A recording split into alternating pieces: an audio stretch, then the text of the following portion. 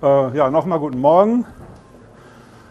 Äh, der bin ich, einer eurer MDLs im Landtag, im Innenausschuss im Ausschuss für Kommunalpolitik. Und äh, das Thema heute die Flüchtlingspolitik in NRW. Leider ein Trauerspiel. Ähm, ich wollte reden, wie das System grundsätzlich funktioniert mit Aufnahme, Verteilung in Deutschland wie die Kosten verteilt sind, was das Land trägt und was die Kommune zahlen muss. Die muss nämlich einiges zahlen. Ein paar Takte zur Gesundheitsversorgung und äh, ja, was man vor Ort tun kann, äh, wo die Probleme einfach sichtbar sind, weil da verbringen die, Zeit, äh, die Flüchtlinge am meisten Zeit in den Kommunen. Ähm, und dann würde ich natürlich auch von euch äh, mich mit euch austauschen, welche Erfahrungen und Anregungen gibt es, was habt ihr bisher schon gemacht. So, und an der Stelle weiß ich, dass diese Präsentation irgendwie hakt, aber jetzt kommt's. Woher kommen die Menschen, die nach Deutschland kommen? Wie kommen die nach Deutschland? Im Schiff, im Flugzeug, einige, die meisten allerdings äh, mit Bahn und Bus, das heißt über Land. Wir hören viele Zahlen äh, dass äh, Wellen immer kommen. Man sieht da tatsächlich eine Wellenbewegung. Das ist die Zahl von, das ist eine Entwicklung von 1953 bis heute. Ganz unten ist heute die aktuelle Situation und man sieht eine Spitze äh, Mitte der 90er Jahre, dass schon mal mehr als doppelt so viele Flüchtlinge nach Deutschland gekommen sind wie aktuell. Und die haben wir auch untergebracht.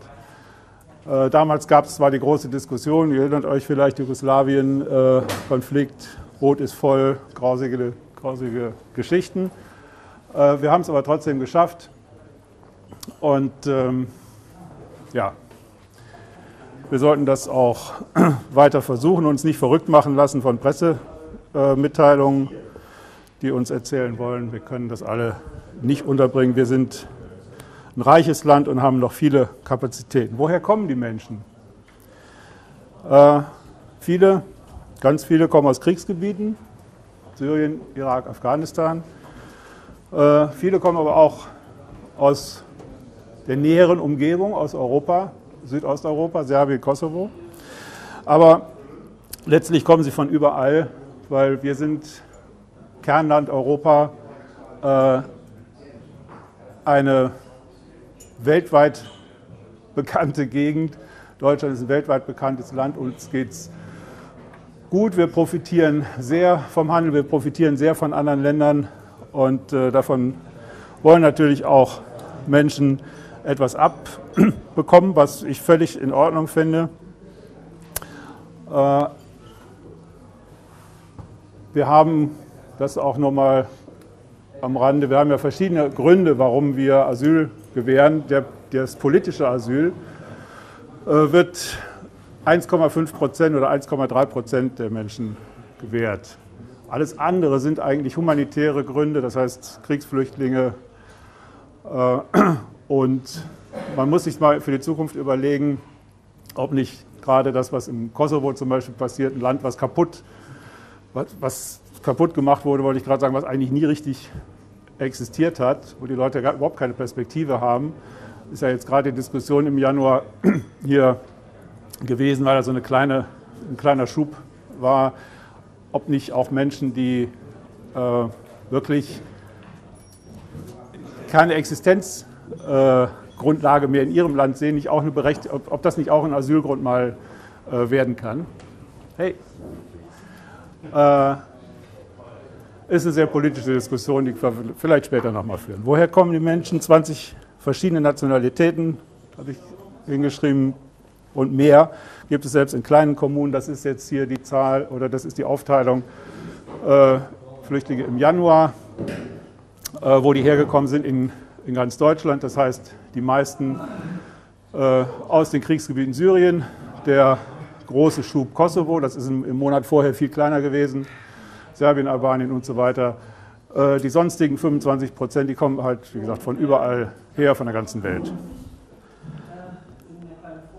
wenn sie in Deutschland ankommen, äh, Deutschland als Land hat gar keine äh, Unterbringungseinrichtungen, das sind direkt die äh, Bundesländer, die haben die Unterbringungseinrichtungen. Es gibt den sogenannten äh, Königsteiner Schlüssel. Das ist ein, da hat man sich in Königstein auf einer Konferenz geeinigt, ein paar Kriterien. Daraus ergibt sich, dass in Nordrhein-Westfalen äh, 21,44, das ist eine Zahl von äh, der, der, Schlüssel von 2012, das ändert sich minimalst von, von Jahr zu Jahr. Äh, also rund ein Fünftel der äh, Flüchtlinge, Geflüchteten, die nach Deutschland kommen, kommen nach Nordrhein-Westfalen. Das sind im letzten Jahr genau 40.046 gewesen. Für dieses Jahr werden ungefähr 53.000 erwartet. So, wie funktioniert nun das System?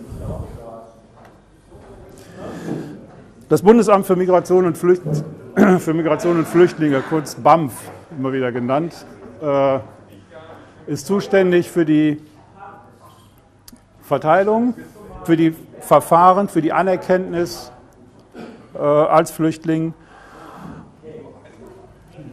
Das ist eine Bundesangelegenheit. Also äh, ich habe eben schon gesagt, es verteilt nach, Königsle nach Königsteiner Schlüssel. Und ähm, wenn na, komm, die Flüchtlinge hier nach Nordrhein-Westfalen kommen, sie kommen erstmal in sogenannte Erstaufnahmeeinrichtungen, EAEs genannt. Erstaufnahme gibt es in Nordrhein-Westfalen in Dortmund und Bielefeld.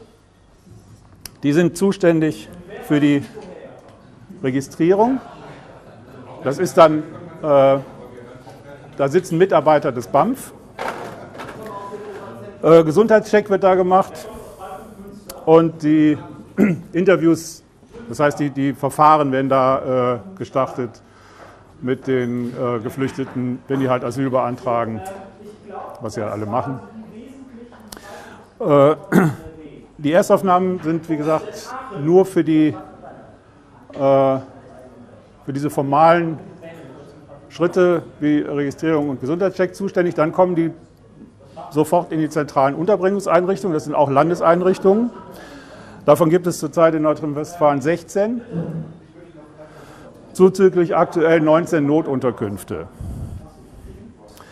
Ähm, in diesen zentralen Unterbringungseinrichtungen sollen nach, Prinzip, also nach, nach der Theorie äh, die Menschen erstmal zwei Wochen, drei Wochen bis zu drei Monate Maximum äh, verbringen, um das Verfahren in Gang zu bringen, sprich äh, die Interviews zu machen, ähm, was die Asylgründe sind und abzuschätzen, wie lange so ein Verfahren dauert. Die meisten Verfahren dauern ja mehrere Monate, um da erstmal äh, zu sehen, wie ist halt die, die äh, Situation mit jedem einzelnen Flüchtling, weil jeder Fall muss ja einzeln bewertet werden.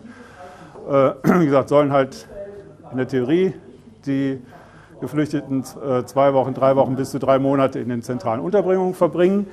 Das äh, funktioniert schon längere Zeit nicht mehr weil die vorgehaltenen Plätze viel zu wenig sind. Die sind viel zu klein. Die Menge der Flüchtlinge ist, ist äh, größer als die vorgehaltenen Plätze. Ich möchte jetzt nämlich nicht sagen zu groß. Es ist einfach eine Nachlässigkeit des Landes. Seit Jahren bemängeln wir das, dass zu wenig Landesunterbringungseinrichtungen bereitgehalten werden, weil der Effekt ist nämlich, wenn die voll sind, weil die Leute müssen irgendwo hin, dann werden sie halt in die Kommunen gebracht, obwohl die Verfahren äh, mit, dem, mit den Interviews und sowas noch gar nicht richtig angelaufen sind. Das heißt, sie gehören eigentlich noch gar nicht in die Kommunen, sie müssen aber halt irgendwo hin, also werden sie halt in kommunale Einrichtungen gebracht, müssen dann wieder äh, zurück zu den Interviews. Manchmal sind sie sogar unregistriert in den Kommunen, müssen wieder zurück zur Registratur. Das ist äh, das Drama äh, der Kollaps, wo was manchmal auch in der Zeitung stand, was wir gesagt haben im September, Oktober, der, das ist der Kollaps des Systems, weil es einfach nur noch darum ging, den Leuten halt einen Platz zum Schlafen äh, zu geben und äh, die ganze Struktur, die das System eigentlich hat, nicht mehr funktioniert hat. So langsam, ja. Ich habe gehört, dass äh, Flüchtlinge aus dem Kosovo äh, nur noch in den zentralen Überlebenseinrichtungen sollen, von da aus dann großteils direkt wieder zurückgeschickt werden sollen, nicht mehr auf die Kommunen äh, mehr verteilt werden sollen. Ja, das äh, ist ein Plan, der meiner Meinung nach nicht funktioniert. Ähm, es war Anfang Januar die äh, Situation, dass tatsächlich äh, so eine kleine Welle äh, von Menschen aus dem Kosovo kam. Das hatte äh, viele Gründe, im, die im Kosovo äh, lagen. Und zwar hat es Mitte letzten Jahres eine Wahl gegeben. Äh, die beiden großen Parteien sind sehr verfeindet. Die haben es ein halbes Jahr lang nicht geschafft, eine Regierung, also hat keiner von beiden es geschafft, eine Regierung zu bilden. Völlig korrupt, äh, beide, jeder für sich, wie gesagt, unverfeindet. Jetzt haben sie zum Jahresende eine gemeinsame Regierung gebildet, was äh, völlig eigentlich irreal ist, weil äh, das wäre so wie Linke und CDU. Und ähm, es haben halt viele gesagt, jetzt, jetzt werden wir in diesem Land sowieso nicht mehr äh, klarkommen. Es ist, es ist nur noch korrupt, ich gehöre nicht zum Clan, also werde ich hier gar nichts mehr, also muss ich raus. Und dann hat es halt äh, so ein kleine, mehrere tausend Leute gegeben, die das Land verlassen haben, nach hier gekommen sind. Ich erzähle manchmal ein bisschen, bisschen lang. Ähm, versuche das kürzer zu machen. Und hier hat man direkt gesagt, äh, das wollte man eine Sperre aufbauen, weil tatsächlich politische Gründe, eine politische Anerkenntnis sehr schwierig ist äh, für die Menschen aus dem Kosovo. Das ist ja ein Land, was perspektivisch auch mal Mitglied der EU werden soll. Äh, und man will, wollte aus politischen Gründen die Not äh, nicht anerkennen, wollte die Leute also direkt wieder abschieben. Geht aber nicht. Wir haben offiziell. Ja? Ich kann das ergänzen zu dem Kosovo-Verfahren. Ja. Also das Verfahren ist insgesamt 14-Tage-Verfahren genannt worden. Das ist sehr Wollte ich gerade hin. komplette Interviews gestellt. Auf den Gesundheitscheck wird auch verzichtet und der Hintergrund war, dass in den zwei Wochen Registrierung Anhörung plus rechtsgültige Entscheidung sein soll, in 14 Tagen. Effekt hat, dass die ganzen Anhörungen, die für die nächsten Monate bis hin zum August geplant waren, allesamt verschoben werden, so wird es genannt. Und nach diesen 14 Wochen gibt es dann eben die Fristen mit UU, meistens UU, also offensichtlich mhm. eine Woche. Dann soll es ganz schnell vor das Verwaltungsgericht. Die Verwaltungsgerichte freuen sich auch jetzt schon, mhm. weil sie dann auch alle anderen Termine schieben müssen. Und der Effekt sein soll, dass sie maximal vier Wochen in Deutschland sind und dann möglichst schnell abgeschoben werden. Also so ist der Plan. Also da wäre ich jetzt. Vom BAMF ist das äh, schon ähm, mal belächelt worden oder gelernt worden. Ja. An die Stelle wäre ich jetzt gerade gekommen. Nee, das ist auch völlig okay. Aber du wolltest auch noch? Ja, ich kann auch noch ergänzen, dass es ganz ja. frisch bei uns aus dem Ausschuss hm. Auskunft der Bezirksregierung Köln, hm. weil bei uns soll eine zusätzliche ZUE gemacht werden in der Landesliegenschaft. Hm. Und ähm, da hieß es dann, dass durch dieses Verfahren äh, wahrscheinlicher Zeithorizont für jeden einzelnen Verweildauer bei uns zwischen sechs und elf Monate, weil äh, für die Anerkennung ist ja ein Bundesamt zuständig, die haben viel zu wenig Mitarbeiter und aufgrund des ja. aufgelaufenen Buß sechs bis elf Monate ja. wird es dauern. Alle anderen Verfahren stehen bis dahin. Ja. ja, also dieses, äh, es ist halt in den Zeitungen kommuniziert worden, äh, ich sag mal, vermutlich auch ein bisschen politisch, um halt in den Kosovo zu spiegeln, äh, Leute, es hat keinen Zweck, nach hier zu kommen. De facto und praktisch funktioniert das so nicht mit Schnellverfahren, weil wir haben äh, ein, ein System, was auf Gesetzen basiert und die kann man halt nicht missachten, da kann man nicht ein Schnellverfahren machen. Jeder Fall muss einzeln betrachtet werden und äh, Regelzeit auch bei ähm, Herkunftsland sicheres Herkunftsland oder äh, all, all diese Definitionen ist trotzdem zwei, drei, vier Monate. Ähm, also das mit den drei Wochen und nicht registrieren oder kein Gesundheitscheck, das, das funktioniert einfach so nicht. Und wie du auch richtig sagst, die anderen Verfahren äh, bleiben stehen. Das heißt, da wächst eine riesige Halde an. Also ein Gewinn ist da überhaupt nicht äh, drin zu erkennen. Die Frage war, nur wissen, was So. du darüber weißt. Ach so, ja, ja, okay. Das ist beantwortet. Okay. Äh, Du sagst, das funktioniert wahrscheinlich nicht genau das. Nee, das, das, das, ist, äh, das ist Irrsinn, das ist, wie gesagt, fun funktioniert nicht. Grundsätzlich, ähm, hier ist mein Überblick über die aktuellen äh, Unterbringungseinrichtungen. Die beiden ersten, das sind jetzt die Erstaufnahmen, ich habe die jetzt nicht weggestrichen. Diese Belegung, also Regelkapazität ist die vorgesehene Kapazität des, äh, der Einrichtung. Die aktuelle Belegung von einem Stichtag, das ändert sich täglich. Ähm, Das kann eine Überbelegung sein, Unterbelegung sein. Das ist äh, wirklich ein ganz heftiger Job, den die äh, in Dortmund und Bielefeld in der Verteilung und in Bezirksregierung Arnsberg machen.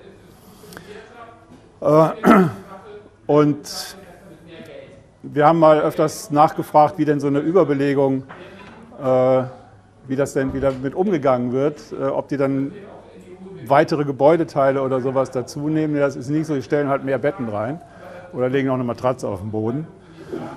Ähm, vor einem Jahr war die Liste nur halb so lang. Und ähm, ja, es ist, es ist halt leider so, die, das, das Land Nordrhein-Westfalen hat die Unterbringungseinrichtungen viel zu spät aufgestockt, hat immer unterhalb der notwendigen äh, äh, Anzahl halt gearbeitet, weil es spart Geld. Das Land spart, die Menschen, naja. Äh, so, inzwischen ist das Thema aber so in der Öffentlichkeit, äh, das geht nicht mehr so einfach mit dem Geldsparen. Deswegen gibt es jetzt, was es vorher nicht gegeben hat, das Thema Notunterkünfte. Ähm, auch bei euch wird gesucht worden sein, also jede Stadt ist angesprochen worden, Leute stellt zur Verfügung. Äh, Das ist jetzt die aktuelle Liste auch vom, vom Februar. Wir lassen uns das seit, äh, seit August, September jeden, für jeden Ausschuss äh, erzählen, wie die Situation ist. Das haben wir vor zwei Jahren angefangen. Da hieß noch, ist alles super. Und, äh, aber ihr wisst ja, wie es halt hier explodiert ist. Inzwischen jede, äh, wie gesagt, zu jeder Ausschusssitzung gibt es den aktuellen Stand. Äh, das ist der vom Februar. Ich weiß nicht, ob ihr. Bitte? Ne, das ist der Stichtag. Das ist dieser Freitag, den glauben wir, aber der Samstag sieht dann schon wieder anders aus. Ja, aber dann ist Freitag, steht der Herne zum Beispiel in 90 und wir haben eine Zahl von 150. Ja, schön. Nee, das ist klar. Das ist immer eine gute Info, äh, die auch mal zu. Ich meine, wir haben auch schon gehört, ähm, weil der Freitag wird oft als Stichtag genommen. Äh, Ich habe aus einer Unterbringung gehört, ja, dann kommen donnerstags die Busse und holen die Leute ab. Wird Freitag gemessen, Samstag sind die Busse wieder da. Keiner weiß, wo die Leute am Freitag sind. Äh, Überbelegung 200 Menschen mehr war das. Die werden hin und her geschoben, ja. Äh, Deswegen hatten wir mal gefragt, äh, dass wir Wochen, einen Wochenschnitt bekommen. Äh, Das wurde leider abgelehnt, weil es hieß, das wäre der Aufwand zu groß. Naja. Ähm, Ich habe da noch Ja. eine Frage zu. Du sagst gerade bei euch in, wären 90, äh, 100 statt der 90, 150. ja. Habt ihr denn äh, mehrere Unterbringungs... Da ist also nur die äh, eine von euch. eingerichtet. Eine Schule wurde komplett dafür eingerichtet. Ganz, Also nicht für die Erstaufnahme, sondern äh, äh, nur für die Erstaufnahme. ganz wichtiger Punkt, das ist hier die Land wir sprechen von der Landeseinrichtung. Wir sprechen nicht von etwas, was ihr als Stadt Herne vielleicht macht. Eine Gemeinschaft unter. Okay. Gut. Wir haben um 9.10 Uhr einen Anruf gekriegt und um 10.20 Uhr waren die Flüchtlinge da. Und zwischenzeitlich hat er uns kurz eingerichtet. Also es kann trotzdem sein, dass Sie in, der, in die Kommune, also in eine kommunale Einrichtung gekommen sind, weil. Okay, Kommunale Einrichtungen sind Gut. 40 Jahre übergegangen. alles klar. Okay, ja gut. Ja, wobei ich dann eine Verständnisfrage habe, also bei uns soll jetzt so eine Notunterkunft kommen, ehemalige Polizeischule, Ja, sollte eigentlich hier zur Fachhochschule für Finanzen umgerüstet werden. Die jetzt erstmal gestoppt. Da sollen jetzt bis zu 400 untergebracht werden. Zeithorizont 1. März. Mhm. Belegung wahrscheinlich ab dem ersten Tag die ersten Leute. Und da hat die Stadt als solches gar nichts mit zu tun. Sie wird noch niemals darüber informiert. Weil das alles im Rahmen der Bezirksregierung Ansbach dann mit Köln passiert. Und äh, die Stadt wird da gar nicht darüber informiert, was überhaupt da passiert.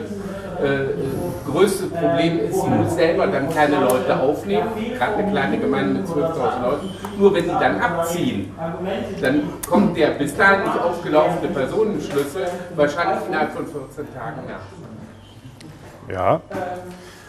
das wird jetzt schon gerade ein bisschen. Also, das ist ein grundsätzlicher Punkt, was wir auch immer wieder reklamieren im Ausschuss, die Informationspolitik der Landesregierung gegenüber den Kommunen, weil wir hatten Olpe, wir hatten andere äh, Fälle, die in der Presse groß äh, gewesen sind, von wegen hier überrascht äh, worden mit der Beschlagnahme oder sowas. In Olpe war es ein bisschen übertrieben, weil da haben tatsächlich schon Gespräche stattgefunden, das Ding zu nutzen, was dann beschlagnahmt wurde. Aber grundsätzlich äh, wie gesagt, reklamieren wir gerade diese Informationspolitik auch, also zumindest den Bürgermeister anrufen, dass der eine Chance hat, die Leute, die Menschen, die in der Umgebung möglicherweise wohnen, zu informieren, was ein ganz, ganz wichtiger Punkt ist. Ähm, weil das merken wir immer wieder, je besser die Menschen informiert sind, desto besser klappt das auch. Ne? Wenn man weiß, wer da kommt das und so weiter. Also man muss, man muss halt reden. Und äh, deswegen ist halt, ja, sind diese Blitzaktionen äh, auf jeden Fall eine ganz, ganz schlechte Geschichte, keine Frage. Ähm, und die Notsituation in Anführungsstrichen der, des Landes ist auch keine Entschuldigung, weil es muss einfach auch eine, eine Zahl freier Plätze vorgehalten werden. Nicht immer nur das, was notwendig ist, äh, dann von jetzt auf gleich irgendwo nehmen. Äh, es gilt eigentlich auch eine Frist von drei Tagen, was die Vorwarnung der Kommunen angeht, wann, wenn neue Flüchtlinge kommen damit man sich vorbereiten kann. Also dieses äh, Regelfrist. Ja. Keine Regel ohne Ausnahme, nur wenn die Ausnahmen halt äh, ständig passieren, ist das halt äh, ist das nicht gut. Wenn, wenn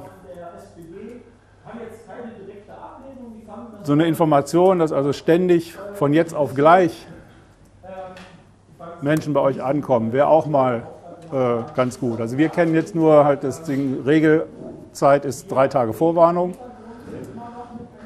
Äh, Ausnahmen mag es geben, aber die dürfen wirklich nicht die Regel sein. Das erste Mal, das zum zweiten Mal passiert. Einmal ja. vier Stunden Vorlaufzeit.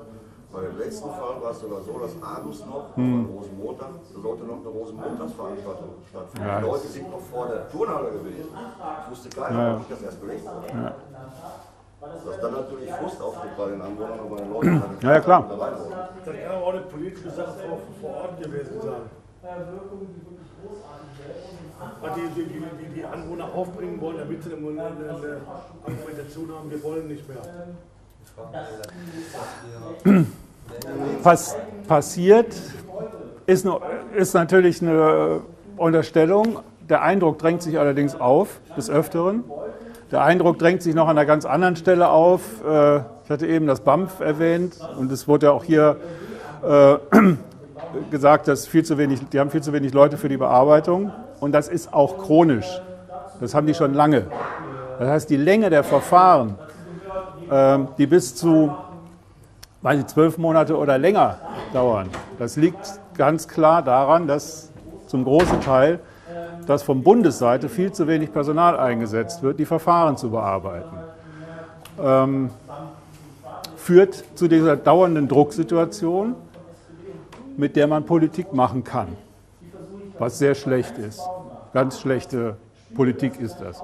Aber kann man schlecht belegen. Ja. Laut der GUGA-Flüchtlinge oder GAUA-Flüchtlingshilfe in Münster ist das, was hier gesagt wird, Politik der Bundesregierung, eher eine Verhinderungspolitik, als wir wollen euch. Ja, natürlich, klar. Ja, es ist ja, die, wenn, wenn diese ständige Drucksituation aufgebaut wird, diese ständige Notsituation, immer aus der Not raus agieren, hat ja äh, vermittelt den Eindruck, dass es irgendwie viel ist, dass wir es nicht schaffen und, und lauter diese falschen Gedanken hat. Das ist falsch. Wir geben uns nicht genug Mühe. Das ist einfach der Punkt. Nee. Politik. Ja. Wir haben die Planung in Duisburg bei der Veranstaltung so. Aber leid. Ja. Wer äh, unternimmt denn die, die, die Zuteilung in den Noteinkünften und, und für die zentralen Einkünfte? Wer, wer, wer sorgt denn für die einzelnen Zuteilungen? Die Bezirksregierung Arnsberg. Also, ja. Sagt man Arzt? Ja. Da komme ich jetzt. Äh, ja, das ist noch nicht die. Entschuldigung, ich sage vielleicht noch was zu, der Not, zu den Notunterkünften oder zu der Unterscheidung. Ähm, weil jetzt hier auch Herne mit den 90 Plätzen zum Beispiel angesprochen war. Also Notunterkünfte ist eigentlich eine neue ähm, Definition.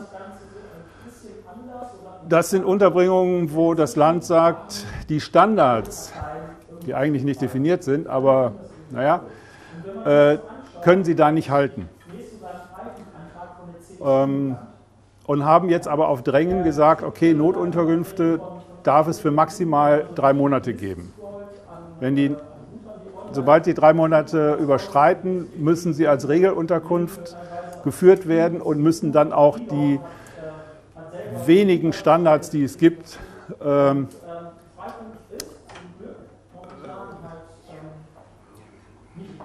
ausführen und, und, und halten, was aber in der Regel nicht funktioniert, weil zum Beispiel in Detmold sind äh, Gebäude, sind Wohnhäuser äh, angemietet, die überhaupt keine Gemeinschaftsräume haben, was aber Regelunterkünfte haben müssen. Also das funktioniert nicht. Das wird eine äh, Notunterkunft bleiben. Die war auch schon mal die, im Herbst genutzt, dann wurde die leer gemacht und dann ist sie wieder Notunterkunft geworden. Ähm, auch ein schlechtes, ein schlechtes Verfahren. Also Notunterkünfte maximal drei Monate und äh, schlecht für die Flüchtlinge, weil viele Dinge, die eigentlich zur ordentlichen Unterbringung gehören, wie gesagt, wie Gemeinschaftsräume, Waschgelegenheiten, auch Wäsche waschen und solche Sachen, äh, sehr oft nur äh, sehr schlecht äh, möglich sind und sich die Gebäude eigentlich nicht für Gemeinschaftsunterbringung eignen. Äh, deswegen muss man auch sehen, dass das möglichst schnell abgebaut wird und neue Regelunterkünfte gefunden werden. Da, sind, äh, da habt ihr in der Stadt wahrscheinlich ganz unterschiedliche Informationen oder Diskussionen gerade drüber. Ich weiß jetzt gar nicht, ob ich dazu. Doch, da komme ich noch zu. Von Container bis Ich komme gleich zu dem Punkt, warum ich äh, nochmal auf, auf diese äh,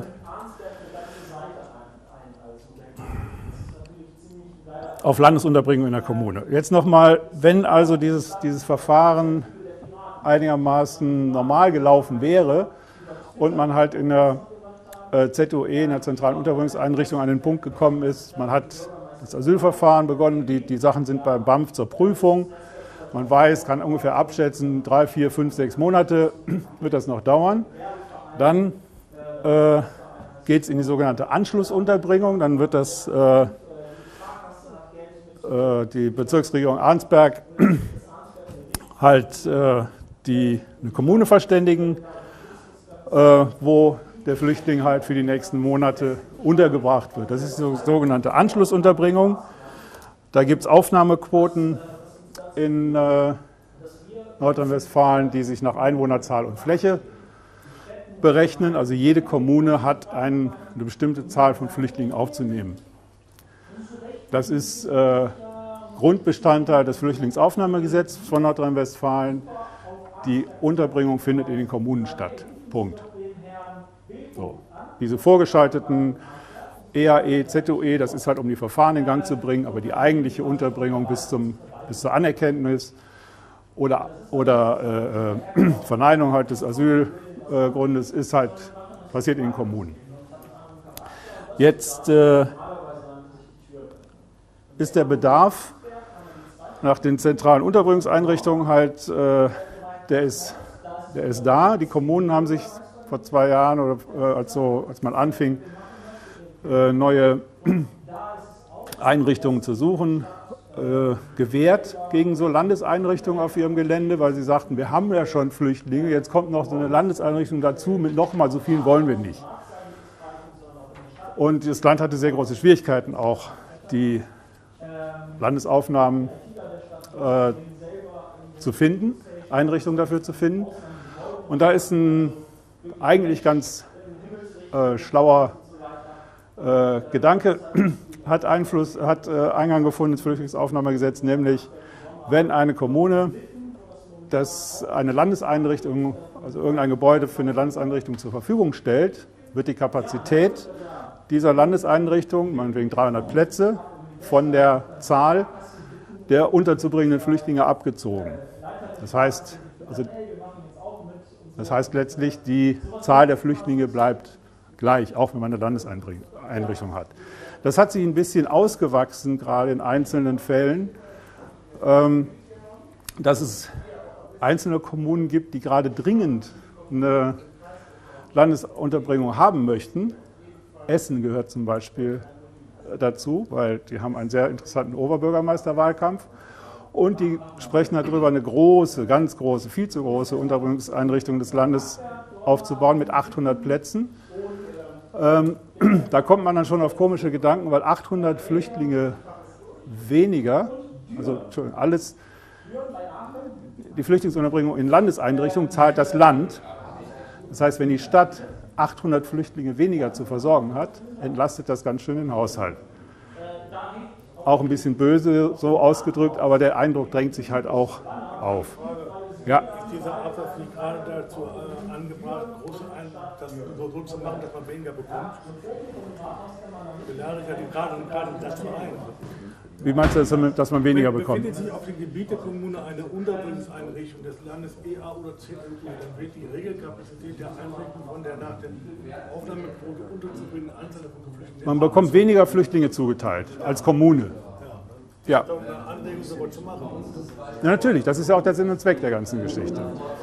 Also, ne, die, die anderen Kommunen bekommen natürlich entsprechend äh, mehr das äh, ist halt, ja.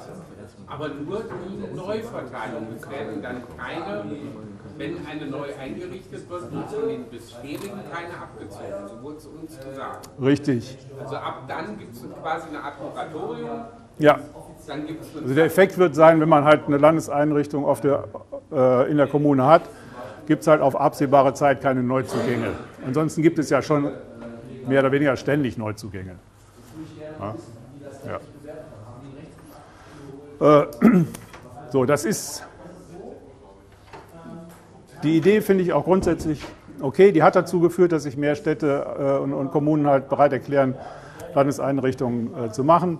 Wie gesagt, ein paar Auswüchse äh, gibt es, aber grundsätzlich, denke ich mal, ist das, ist das schon in Ordnung. Äh, so, wenn jetzt die Menschen in den Kommunen sind, dann sind wir raus im Land. Das wird uns auch immer gesagt. Ähm, wir haben mit den Kommunen im Landtag nichts zu tun. Wenn wir da nach äh, Standards fragen, wird gesagt, nein, wir haben kommunale Selbstverwaltung. Das äh, geht uns alles nichts an, da können wir uns nicht einmischen, weil sobald wir als Land da Vorgaben machen würden, ähm, dann kommt das Thema Konnexität, dann hat das Land Angst, das auch bezahlen zu müssen. Das heißt, gerade die große Diskussion um Standards, was die Unterbringung angeht, äh, kämpfen wir noch, dass es gemeinsame Standards gibt, aber bisher ist immer der Punkt, nein, Kommunen machen das selber, äh, sonst haben wir Angst, dass das Land bezahlen muss, sagt die Regierung. So. Wie ist das mit den Kosten grundsätzlich? Wer was gibt es? Ich habe eben gesagt, die Unterbringung äh, ist Aufgabe der Kommunen. Nun haben die Kommunen selber wenig äh, Steuereinnahmen, also von irgendwoher muss das Geld ja kommen. Möchtest du durch oder? Ich gehe gleich durch. Okay, ja, alles klar. Ähm, da gibt es erstmal die sogenannten pauschalierten Landeszuweisungen. Die, das ist eine Summe von 183 Millionen in diesem Jahr, die verteilt werden nach dem äh, Zuteilungsschlüssel äh, der Flüchtlinge, den ich eben gesagt habe, nach Einwohnerzahl und Fläche. Ähm, ja, was ist das? Ja, Entschuldigung. Also wenn jetzt äh, mehr kommen, Ja. ja, bleibt die Summe Ja. Also, Entschuldigung, das ist genau. Die Summe bleibt, die ist fest für dieses Jahr. Das ist Bestandteil des Flüchtlingsaufnahmegesetzes. Diese Summe ist festgelegt. Weil interessant Basiert, ist ja immer pro Person, weil es geht ja um einzelne Menschen, geht ja drum, ne? Ja, die So, Summe wenn wird- mehr kommen oder was, ist für den Einzel äh, Einzelnen weniger vorhanden. der Stichtag für die ähm, äh, Festlegung äh, der, der Anzahl ist der Januar letzten Jahres. Daraus ergibt sich die Verteilung. So. Deswegen steht da pauschalisierte Landeszuweisung. Das ist halt eine Summe, die weiß man jetzt, dass man die kriegt. Man kriegt die in vier Tranchen ausgezahlt übers Jahr.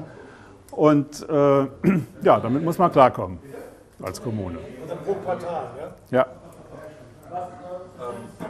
Was daran ganz interessant ist, von diesen äh, pauschalierten Landeszuweisungen müssen die Kommune 4,5 Prozent, ich weiß nicht, ob das gleich kommt bei dir, genau, ausschließlich für soziale Betreuung Ja. aufwenden. Und äh, da das so eine pauschalierte Zuweisung ist, müssen die Kommunen keinen äh, Verwendungsnachweis im Kommunalamt geben. Und da lohnt sich vielleicht, Jein. den Kommunen Anfrage zu stellen, wie dieses, dieses Geld äh, sehr guter Punkt. wird. Ja, sehr guter Punkt. Äh, Das haben wir schon mal im, äh, im Land versucht. Also ich würde schon sagen, dass, es, dass die Kommune Nachweis bringen muss. Selbst wenn es pauschalisiert ist, es sind halt 4,5 Prozent und das ist schon abgrenzbar. Weil die bekommt ja einen Betrag X und es ist klar zu sagen, wie viel davon 4,5 Prozent, wie viel das ist. Also muss sie auch sagen können, was sie damit macht. Äh, war eine sehr langwierige Diskussion. Es hieß dann, ja, können wir nicht und wahnsinnig Aufwand und außerdem geben wir viel mehr aus für soziale Betreuung, sagt der eine. Naja. Aber äh, guter Punkt, das ist etwas für die lokale, äh, für die lokale Arbeit, nachzufragen, was ist soziale Betreuung hier bei uns in der Kommune. Ähm, kann ich direkt schon sagen, Hausmeister wurde auch wurde in der Diskussion bei uns gesagt, wir haben ja einen Hausmeister, der geht da immer rum, ist keine soziale Betreuung. Also soziale Betreuung ist jetzt auch nicht die Verfahrensberatung oder so, sondern soziale Betreuung ist einfach die Menschen äh, anzunehmen, mit denen etwas zu machen, Sprachkurs, die irgendwie zu beschäftigen, weil die können ja nicht arbeiten, die müssen hier ähm, 24 Stunden am Tag verbringen, müssen irgendwas tun. Und das ist soziale Betreuung, sich dann zu kümmern. Ja? Ich habe dazu eine Frage. Und zwar bei uns gibt es, also in Essen gibt es also die sogenannte 24-Stunden-Betreuung. Mhm. Äh, ist aber eine 24-Stunden-Bewachung. Auch keine soziale Betreuung. Ja, Ja, also dieser Wachdienst zählt dann auch nicht dazu. nee, definitiv nicht. Ähm, Äh, Frage, Ja. dürfte in dem Fall für die soziale Betreuung doch klar sein, dass die 4,5 Prozent des Pauschalbetrages für die Kommunen überhaupt in keinster Weise ausreichend ist, um äh,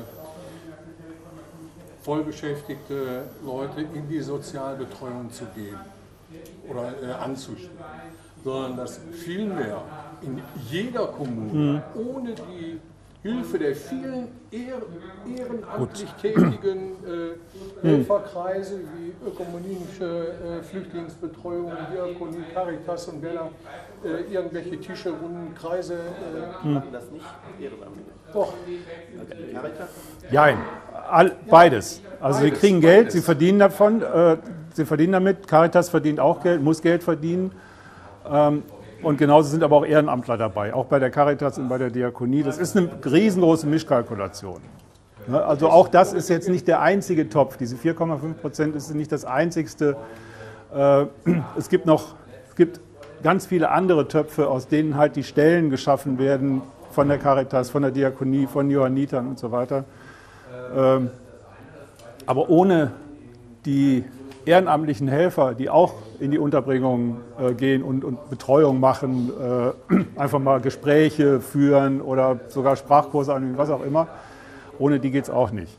Ne, Also es ist bezahltes und äh, freiwilliges. ja, meistens haben Caritas und Diakonie ja nur die äh, Funktion der Koordinatoren, die dann durch die. ähm, Ah, Die, die, die leben auch sehr davon. Also in Dortmund Von ist den- es so, ist, wir haben, wir haben äh, fünf neue Flüchtlingsheime bekommen. Neben der Erstaufnahmeeinrichtung in Dortmund gibt es halt in zurzeit, es kommen noch drei äh, ähm, Einrichtungen dazu.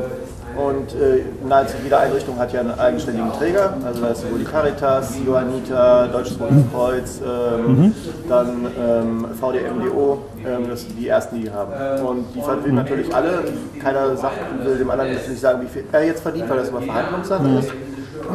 Aber im Schnitt muss man so rechnen, so um die 100 Euro pro, pro Flüchtling pro Tag. Ähm, äh, deutlich günstiger als zum Beispiel ein Gefängnis oder eine Psychiatrie. Ja, Ähm, es das gibt schon, ja. eine Gruppe, äh, das ist also eine, das ist ähm, äh, European Home Care. Mhm. Die haben ein Angebot der Stadt gemacht, äh, hat sich dann auch angenommen, 6,66 Euro, also 666 Cent pro Tag pro Flüchtling und haben dann die Stadt darauf später verklagt, äh, dass man das zu dem Preis nicht machen kann und kriegen jetzt 100.000 Euro mehr im, Jahr, äh, im Monat. Ähm, ja, ist so. Und, ähm, Nee, nicht für, das, Ja. so, äh, und ähm, also man, äh, so und die äh, und es gibt eben auch da nicht wirklich Standards. Also ähm, es, die, es werden Verträge geschlossen und wenn da irgendwas nicht im Vertrag drinsteht, ähm, dann muss es auch nicht gemacht werden. Ähm, also äh, und ich, das heißt nicht, dass die Leute, die jetzt vor Ort sind, nicht engagiert sind, aber ähm, also diese, äh, der Betreiber äh, macht es eben nicht nur aus Menschenfreundlichkeit. Und natürlich ist es, äh, äh, ich habe mich in Abrede gestellt, dass ohne die ähm, äh, Ehrenamtlichen würde nichts laufen. Ganz klar. Also die Ehrenamtlichen äh, von, von Spenden, kleiner Spenden, Spielzeug und so weiter, als auch äh, alles, was sozusagen für die, diese gesamte Sozialbetreuung läuft eigentlich nur ehrenamtlich. Also es gibt pro Einrichtung ungefähr vielleicht drei äh, Leute, die im Büro sitzen, äh, plus drei Leute, die jetzt Sozialarbeiter oder so sind oder Pädagogen und äh, die müssen 24-7 abdecken. Und, ähm, aber zum Beispiel auch diese Betreuung, äh, diese, äh, dieser Wachschutz zum Beispiel, der ist zum Teil notwendig, nicht nur für die, sondern weil Leute von außen vielleicht irgendwie äh, Probleme machen können. Ähm, das ist aber auch nicht standardisiert. Das heißt, es gibt Einrichtungen, die haben sieben Leute dafür und versuchen 24-7 abzudecken, dass immer jemand vor Ort als Ansprechpartner ist. Es gibt andere Einrichtungen, ähm, die decken nur bis 22 Uhr abends ab. Und wenn nach 22 Uhr dann, das ist aber auch unfair passiert in Ewing, dann irgendwelche Leute auflaufen, dann sind die Leute, die im Heim leben, dann erstmal auf sich alleine gestellt und wissen nicht, was, was, äh, was, was, was dann gemacht werden soll. Also das sind so die Erfahrungen, die wir jetzt in Dortmund gemacht haben. Und wie gesagt, ohne die Ehrenamtlichen würde nichts gehen. Also die, das ist grundsätzlich richtig. So, Sprache, ja, ja. also Sprachkurse wurden Ja, ja. ehrenamtlich äh, organisiert. Und da ist genau das Problem. Ähm, selbst wenn viele Ehrenamtliche da sind, Mhm. äh, besteht auf Seiten der Betreiber bzw. der Verantwortlichen den Flüchtlingsheimen zum Teil gar nicht die Kapazität. Das heißt, es ist ja vorgehalten, wir, fangen, wir haben die, die äh, erschweren uns die Arbeit. Weil für die muss in erster Linie, dass die Leute essen, schlafen und dort sind. Ähm, aber alles andere sehen die nicht als ihre Aufgabe. Alles andere ist sozusagen äh, als Arbeit obendrauf und die Flüchtlinge, die koordiniert werden, äh, die Ehrenamtlichen müssen koordiniert werden und das ist für die extra Arbeit. Aber was die sozusagen an zusätzlicher Arbeit leisten, das ist halt für die dann, die sind halt in so einer Zwickmühle. Da sind sehr viele Sachen drin, über die man sprechen muss, aber Ja, ge- geht ja noch äh, viel verrückter im ländlichen Raum. Wenn es Angebote gibt, wie zum Beispiel für Sprachkurse, dann sieht die Sache so aus, macht äh, zum Beispiel bei uns äh, eine Volkshochschule, die hat, bietet den Kurs aber nicht bei uns in der Gemeinde an, sondern das gibt es nur im nächstgrößeren Ort, wo ihren Hauptstandort hat. So.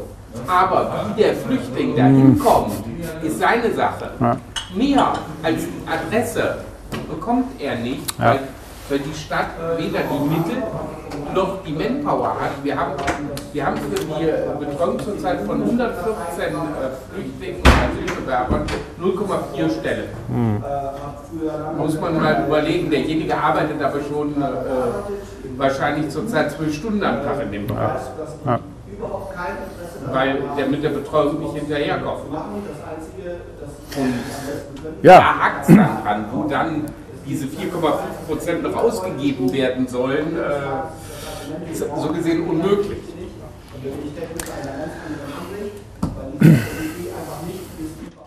Drama. Ja. Natürlich, weil die prozentual, die haben mehr, die können sich halt eine ganze Stelle leisten und, und, oder anderthalb oder zwei und so weiter. Ja, ja das ist, äh, deswegen wehrt man sich äh, im Land auch so Standards festzuschreiben, weil ähm, damit genau, weil man diese Probleme kennt und weil die nicht gelöst werden können. Die können nur mit Geld gelöst werden und das. Ne? Ja, da ist es ja schon. Also man ne, äh, hat Schwierigkeiten mit der Verteilung, sagen wir es mal so. Bleibt woanders hängen. Ja, es bleibt woanders hängen, genau.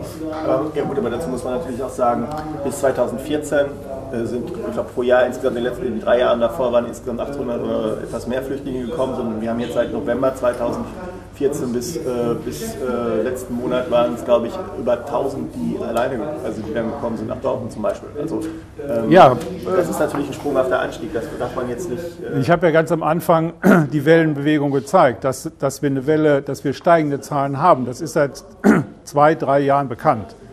Also man hätte diese, die notwendigen äh, Schritte hätte man tun können, man hätte sich vorbereiten können. Man, weiß, man wusste schon, was es heißt, viele Flüchtlinge unterzubringen. Man hat es halt, weil es Geld kostet, gelassen. Muss ich so, sage ich einfach so, ist ja. meine Meinung. Also ich weiß nicht, auf, auf Landesebene, da kann ich nicht zu so sagen, auf kommunaler Ebene ist es natürlich immer eine Abwägung. Ähm, auf Landesebene? Auf, Nein, ich, Auf Landesebene genauso, es ja, ist eine Abwägung, natürlich. Eine Abwägung. Klar. Ähm, stelle ich Kapazitäten bereit ja. oder suche ich mir dann, wenn die Kapazitäten gebraucht werden, dann in dem Moment die notwendigen äh, Einrichtungen oder die Örtlichkeiten, wo ich das machen kann? Weil jedes, jede Kapazität, die ich bereitstelle, da fehlt mir das Geld für andere Sachen. Das ist einfach so. Äh, auf, ja. auf, aber, mhm. wenn ich dazu sagen darf, unterbrechen darf, aber der, äh, der Kämmerer braucht ja nur die Nachricht, die sich anzuhören. Genau. Und er will also feststellen, dass also seine Kapazität oder die Mittel nicht ausreichen. Und die, die, äh, die Flüchtlingszahlen steigen ja seit 2007 kontinuierlich an. Also kann man sich ja ausrechnen, äh, ich habe jetzt 2015, sagen wir, ich habe eine Zahl von in Essen, glaube ich, von 1100 Flüchtlingen, ich kann mir da ausrechnen, dass ich 2016 äh, 1500 brauche. Hm. Aber ich meine, du hast es, du hast es ganz genau gesagt. Das ist, äh, das ist genauso eine Entscheidung. Die findet auch auf Landesebene statt und in den Kommunen. Aber der Punkt ist, man muss halt sagen, ich brauche halt äh, ein halbes Jahr oder ein Jahr, um mich vorzubereiten. Also kann ich nicht, ich kann nicht von jetzt auf gleich in der Kommune äh, agieren. Ich muss ja, um eine vernünftige Unterbringung zu gewährleisten, äh, vorbereitet sein. Das heißt, ich muss immer was vorhalten, wenn ich vernünftige ähm, menschenrechtskonforme Flüchtlingspolitik mache. Und das ist halt nicht gemacht worden. Man hat halt immer auf den letzten Drücker, beziehungsweise halt, wenn es eigentlich immer zu spät ist, gehandelt. Und das in den meisten Kommunen eigentlich. Das ist leider die Situation. Syrienkrieg 2011. Ich meine, ne? wir haben 2015. Aber die Gedanken der Bürgermeister sind zu verstehen, weil äh, wenig Geld, das ist ja eine die ganze Finanzgeschichte ist ja eine riesengroße Maschine mit ganz vielen Stellschrauben. Und äh, dann stellt man halt da, äh, wo man meint, dass das nicht, halt, dass es nicht auffällt. Und dann, ja. Ich muss das ergänzen. Also in diesem maschinierten Landeszuweisungen, das ist ja früher nicht so gewesen, dass das nur nach einem Jahr neu berechnet wurde, als die Zahlen nämlich gestiegen sind. Das Land Helge 91 und hat gesagt, okay, dann prüfen wir eben nach einem halben Jahr schon, wie viel Geld ihr bekommt. Und da ging es dann plötzlich, dass man in kürzeren Abständen prüft, wie die konsolidierten Landeszuweisungen eigentlich berechnet werden sollen. Jetzt ist es wieder mit einem Jahr Verzögerung. Und darauf könnte man auch die Kommune äh, Unterstützung kriegen, dass sie dann auch gemeinsam Druck machen, auch mit anderen Fraktionen sagen, hallo, liebes Land, äh, macht mal diese Berechnungszahlen neu, in kürzeren Abständen. Dann kann man da sowohl auf Landesebene als auch kommunaler Ebene sagen, da muss ein Druck her. Weil das Geld, das 2014 berechnet wurde, sollte dieses erreichen, ja. ist völlig illusorisch. Ja. Also es geht kürzere Berechnungsfristen, wenn man das möchte. Ja. Der Druck ist da von der kleinsten Fraktion des Landtags, aber der ist halt zu schwach. Ja, ja. ja ich, ich meine, generell, generell reden wir ja hier sowieso über äh, Ersatzschlüsse an, an wirklichen Kosten. Nach mhm. Aussage jetzt von meinem Bürgermeister in NRW bei so circa 20 Prozent der anfallenden Kosten liegen circa. Und äh, in anderen mhm. Bundesländern Paradebeispiel Bayern bis zu 80 Prozent, womit äh, dann die Planbarkeit für die Kommune natürlich eine ganz andere ist. das, also die Vergleichbarkeit ist unheimlich schwierig, äh, weil das System in Bayern ganz anders aufgebaut ist als in Nordrhein-Westfalen. Ähm, es gibt Länder, die zahlen 100 Prozent der Aufwendungen. Es gibt Länder wie Nordrhein-Westfalen, die machen halt einen Teil, wo Bürgermeister sagen, es sind 20 Prozent, es sind 30 Prozent. Wenn man sich die Zahlen anguckt, ist es schon eine Ecke mehr. Man kann das klein rechnen, je nachdem, wie groß man die Menge der Flüchtlinge macht, weil es gibt Flüchtlinge nach Flüchtlingsaufnahmegesetz und es gibt Flüchtlinge insgesamt, weil es gibt auch die Zahl der Geduldeten, wo das Land nichts zahlt. Ähm, also das ist, da wird viel Politik gemacht. Fakt ist schon, dass im Moment ähm, eine ganze Schippe mehr gezahlt wird vom Land, allerdings mit mehr Flüchtlingen. Also sie hatten gar keine andere Chance als mehr zu zahlen. Was ich sehr spannend finde, ist, ähm, es ist jetzt schon absehbar, dass die nächste Zahl für 2016 ja erheblich höher wird als, äh, als diese hier. Die Flüchtlinge, Flüchtlingszahlen aber nicht mehr diesen großen Sprung machen, vermutlich. Also es wird perspektivisch ein bisschen höheren Deckungsbeitrag geben für die Kommunen im nächsten Jahr.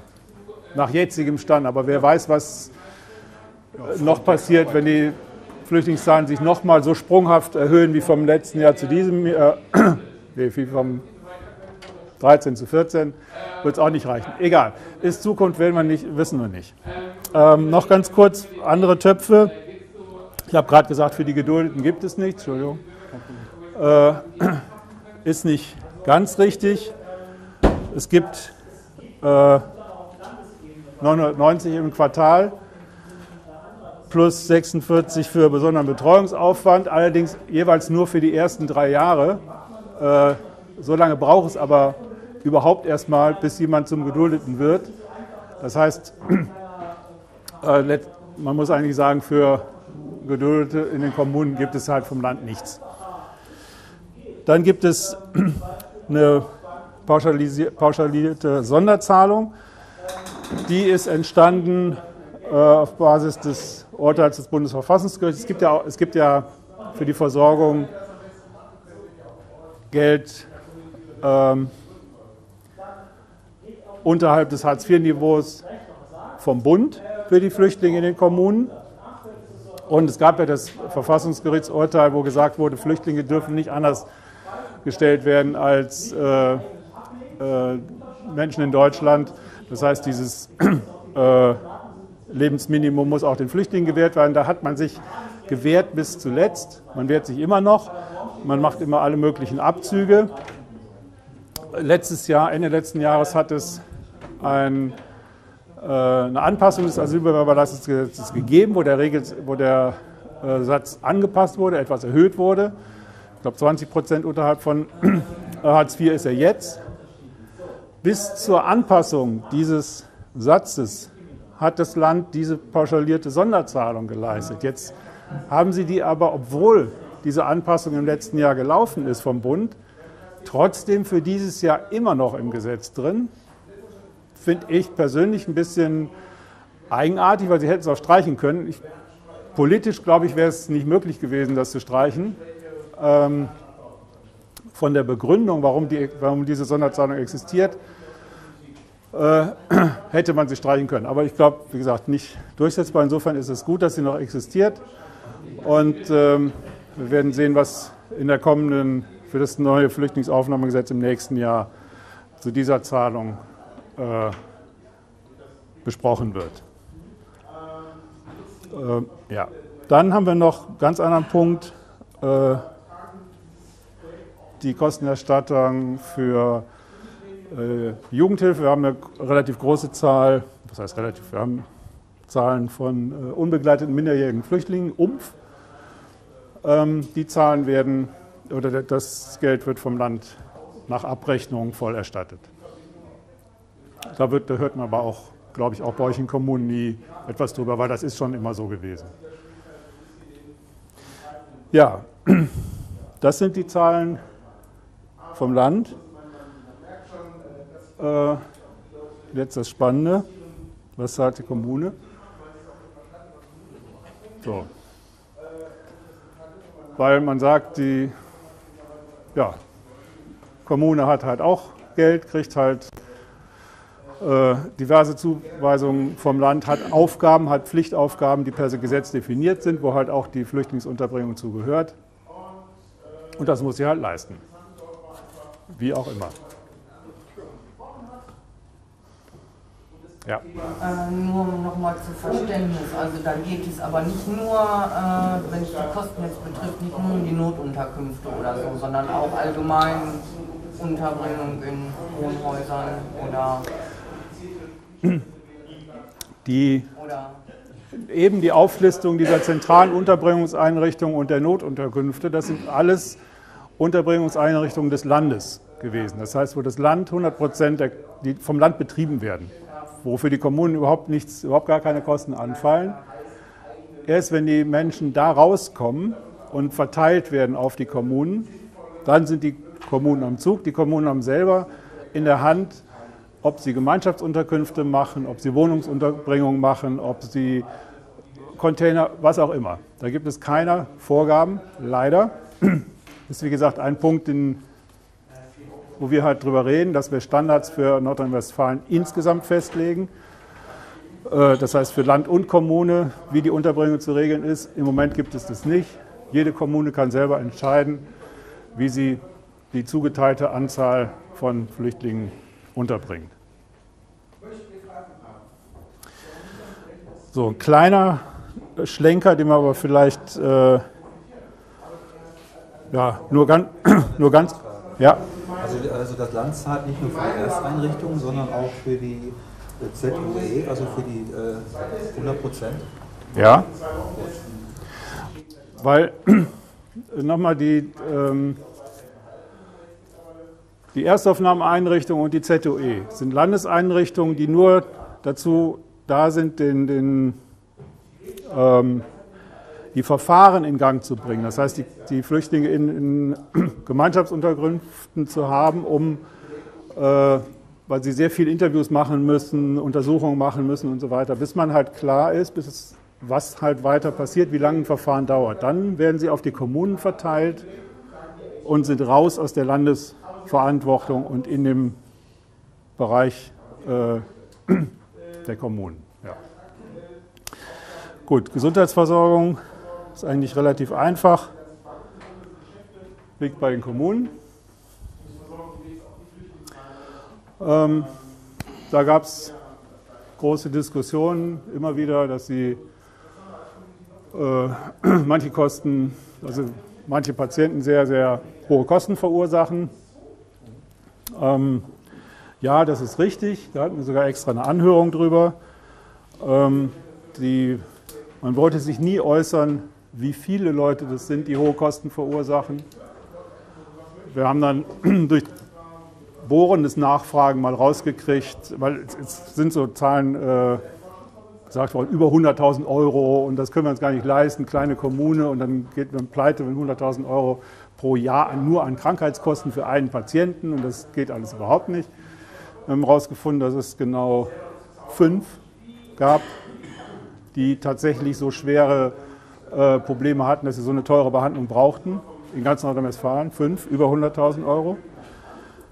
Ähm, trotzdem, das ist grundsätzlich okay, gibt es jetzt nach dem Flüchtlingsgipfel einen Fonds von drei Millionen Euro, ähm, mit dem halt abgefedert wird ein bisschen, wenn große, äh, wenn schwere Krankheitsfälle in Kommunen äh, bei Flüchtlingen passieren, dass halt ein Teil der Kosten übernommen wird. Allerdings wird das auch wieder nur eine sehr kleine Zahl äh, von Menschen betreffen. Es werden nämlich tatsächlich nur die Kosten, die oberhalb von 70.000 Euro sind, vom Land übernommen.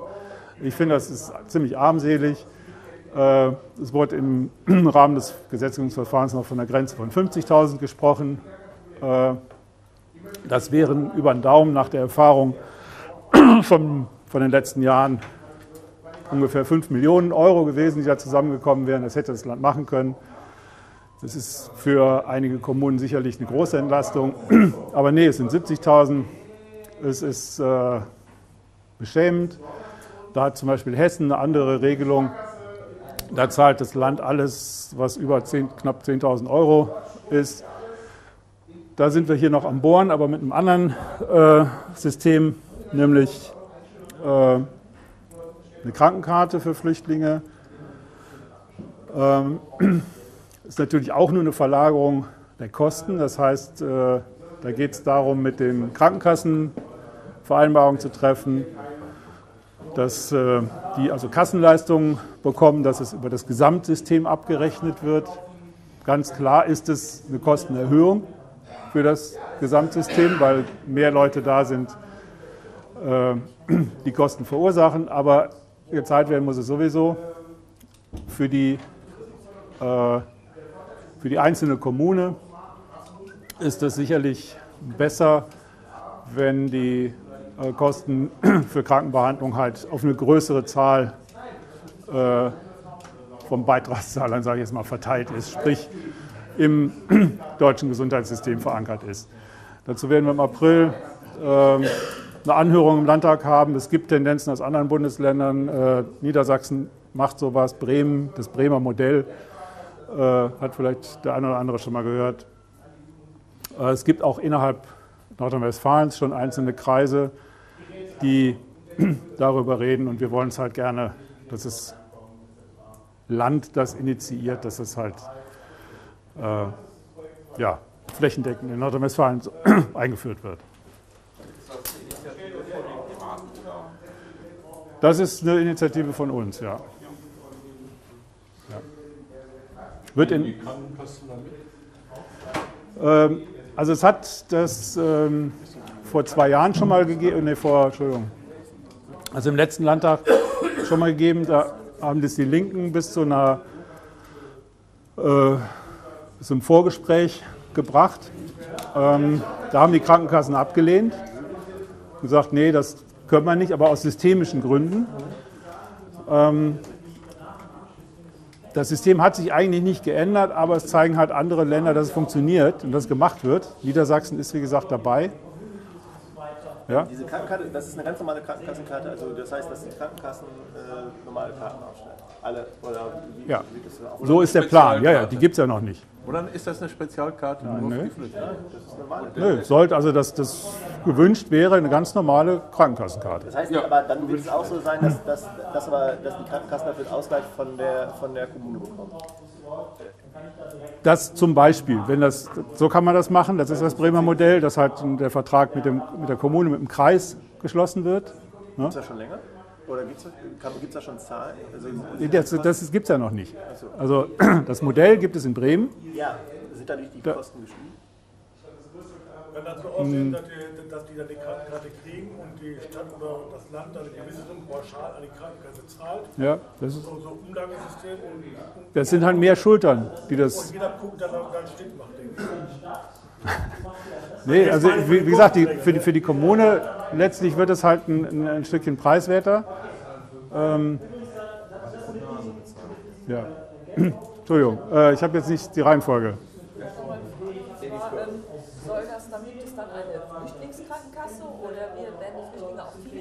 verteilt, weil einige sind ja auch eher so, nee, und einige Krankenkassen sind so, ja. Ähm, wie, ich meine, das ist, also das ist sicherlich eine Verbundgeschichte. Das geht jetzt, da geht es jetzt nicht um Wettbewerb zwischen AOK und DBK oder so. Was, wer kriegt das? Nicht, wirklich nicht. Nee. Da hatte ich nicht gedacht. Dann können die ja auch die Krankenkasse, Krankenkasse frei suchen. Müsste dann man ja auch machen. Oder werden die zwangsweise alle in der AOK verfrachtet? Ja. Es geht eher, eher, eher, in diese Richtung. Aber das ist, wie gesagt, das ist ein äh, Detail, der sich halt im weiteren Verfahren, was sich im weiteren Verfahren ergeben wird. Ja, nee, ich wollte nur nicht wissen, weil wenn die nicht mit der Krankenkasse wie wir haben, ja, dann können die ja sagen, okay, freie Wahl der Krankenkasse, äh, dann, dann geht er nämlich los, wer kriegt wie viel vom Geld, dann, jetzt, dann gehen alle in die AOK und dann kriegt die, ganze, die AOK die ganze Kohle. Das wird, sicher, das wird sicherlich äh, aufgeteilt so, dass es halt, äh, wie sagt man, äh, einiger, so solidarisch wie möglich halt funktionieren. Nicht, es wird sicherlich nicht eine Flüchtlingskrankenkasse gegründet. Das ist Quatsch. Das ist, es gibt, äh, ja. es gibt äh, eine ganz einfache Sache. Die Kassen sind ja alle dem Gesundheitsfonds angeschlossen. Ja, ja. Und über den werden die Summen ja sowieso pauschalisiert und an die Kassen nach Schwere der Krankheitsfälle wieder Hm. zurückgespielt. Eine Kasse behält ihre Beiträge ja gar nicht mehr. Und somit wäre es hierbei genauso. Hm. Damit ist es quasi marginal, in welche Kasse die eintreten. Das sind minimale Geldsummen, das sind die Zusatzleistungen zum Beispiel, Ja. die jeder erbringen muss. Äh. Also es wäre sicherlich, ich sage mal, eher nicht eine freie Kassenwahl, weil ich glaube, die Menschen haben andere Gedanken, wenn die nach hier kommen, als jetzt noch mit, dem, mit der Auswahl der Krankenkassen zu beschäftigen, sondern eher äh, eine, eine Leistung von der äh, Kommune, so eine Karte halt zu verteilen und einfach das Prozedere einfacher zu machen, überhaupt mal zum Arzt zu gehen, was im Moment ja unglaublich schwierig ist, äh, erstmal eine Genehmigung zu bekommen, zu einem Arzt zu gehen und so weiter. Also das soll damit auch erledigt werden, ja. Eine ganz kurze Frage. Wie lange ungefähr geht der Vortrag? Weil es so 10 Minuten sind eine halbe Stunde? Äh, max, äh, zehn Minuten Maximum. Okay. Ja, ich bin eigentlich.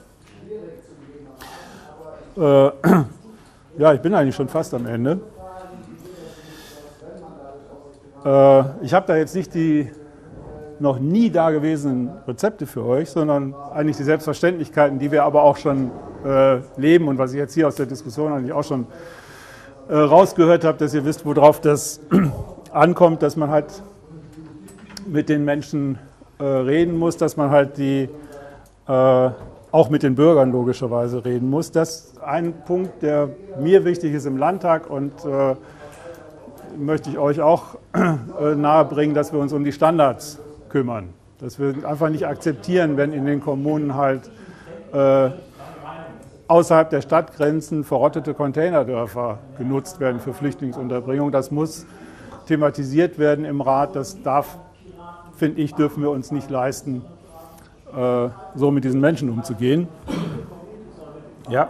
Aber ich sag mal, wo wir nicht sind, die Piraten, dass ich komme, ich wohne erst ein halbes Jahr in Dortmund, Mhm. ich komme vom Land, Mhm. Marburg, also wir sind der letzte Ort in Nordrhein-Westfalen. Und da war leider nicht viel, ich glaube, ich war der Einzige da. Und da ist es so, da ist es wirklich an denen, äh, die sind in eine Kaserne reingepackt, Mhm. die außerhalb ist. Da ist schon mal das große Problem, irgendwo hinzukommen. Mhm. Ja?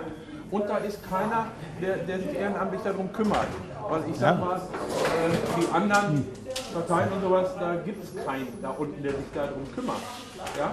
Wie ich das Mhm. jetzt hier mitkriege, seitdem ich hier wohne, hier mit vielen Leuten von der Partei oder was, auch selber schon hineinbewegt. Das gibt es da unten gar nicht.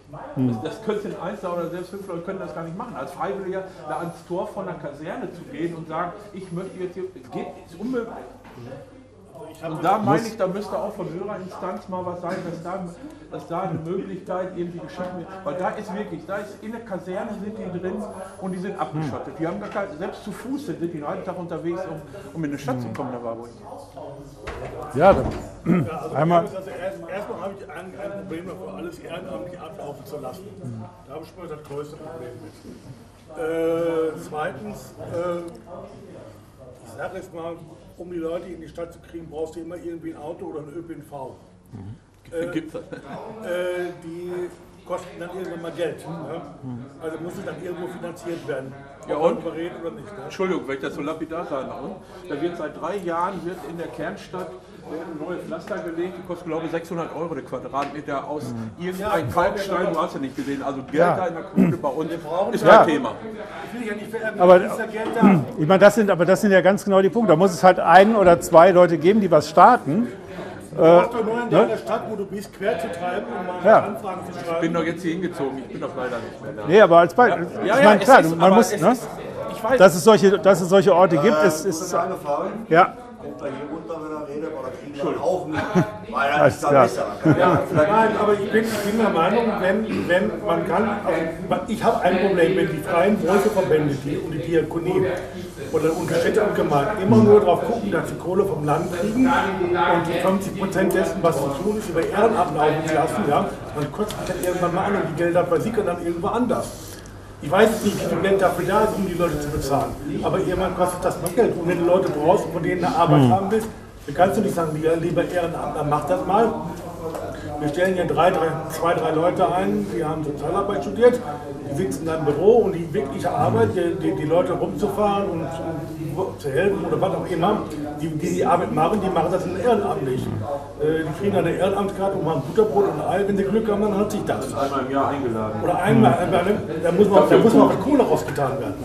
Ja. Ja, ich denke, wir vermischen gerade ein bisschen Standards, äh, Unterkunft und Betreuung der Person. Ähm, bei den und Willkommenskultur fördern, da gehört natürlich auch eine Aufnahme insgesamt in die Kommune mit dazu. Äh, wie kann ich die Leute dann sozial betreuen? Wie bringe ich sie unter? Jetzt sind wir bei der Unterbringung gerade und ich denke gerade da fehlt es an vielen Stellen an Standards für die Kommunen, die sie vorhalten müssen. Beispiel Neukirchen-Flühen. Wir haben eine Obdachlosenunterkunft äh, mit zurzeit 80 Personen belegt, ausgelegt auf 60 Obdachlose.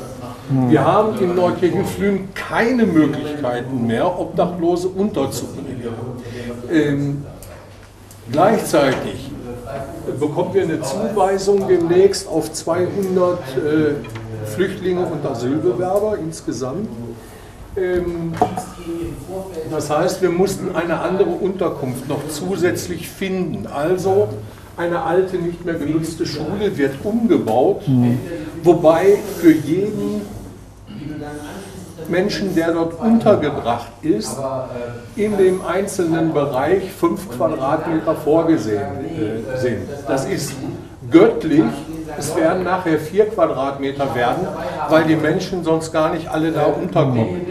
Gleichzeitig äh, sind die alten Unterkünfte so desolat und marode und gesundheitsgefährdend äh, inzwischen, äh, dass dort auch saniert werden muss.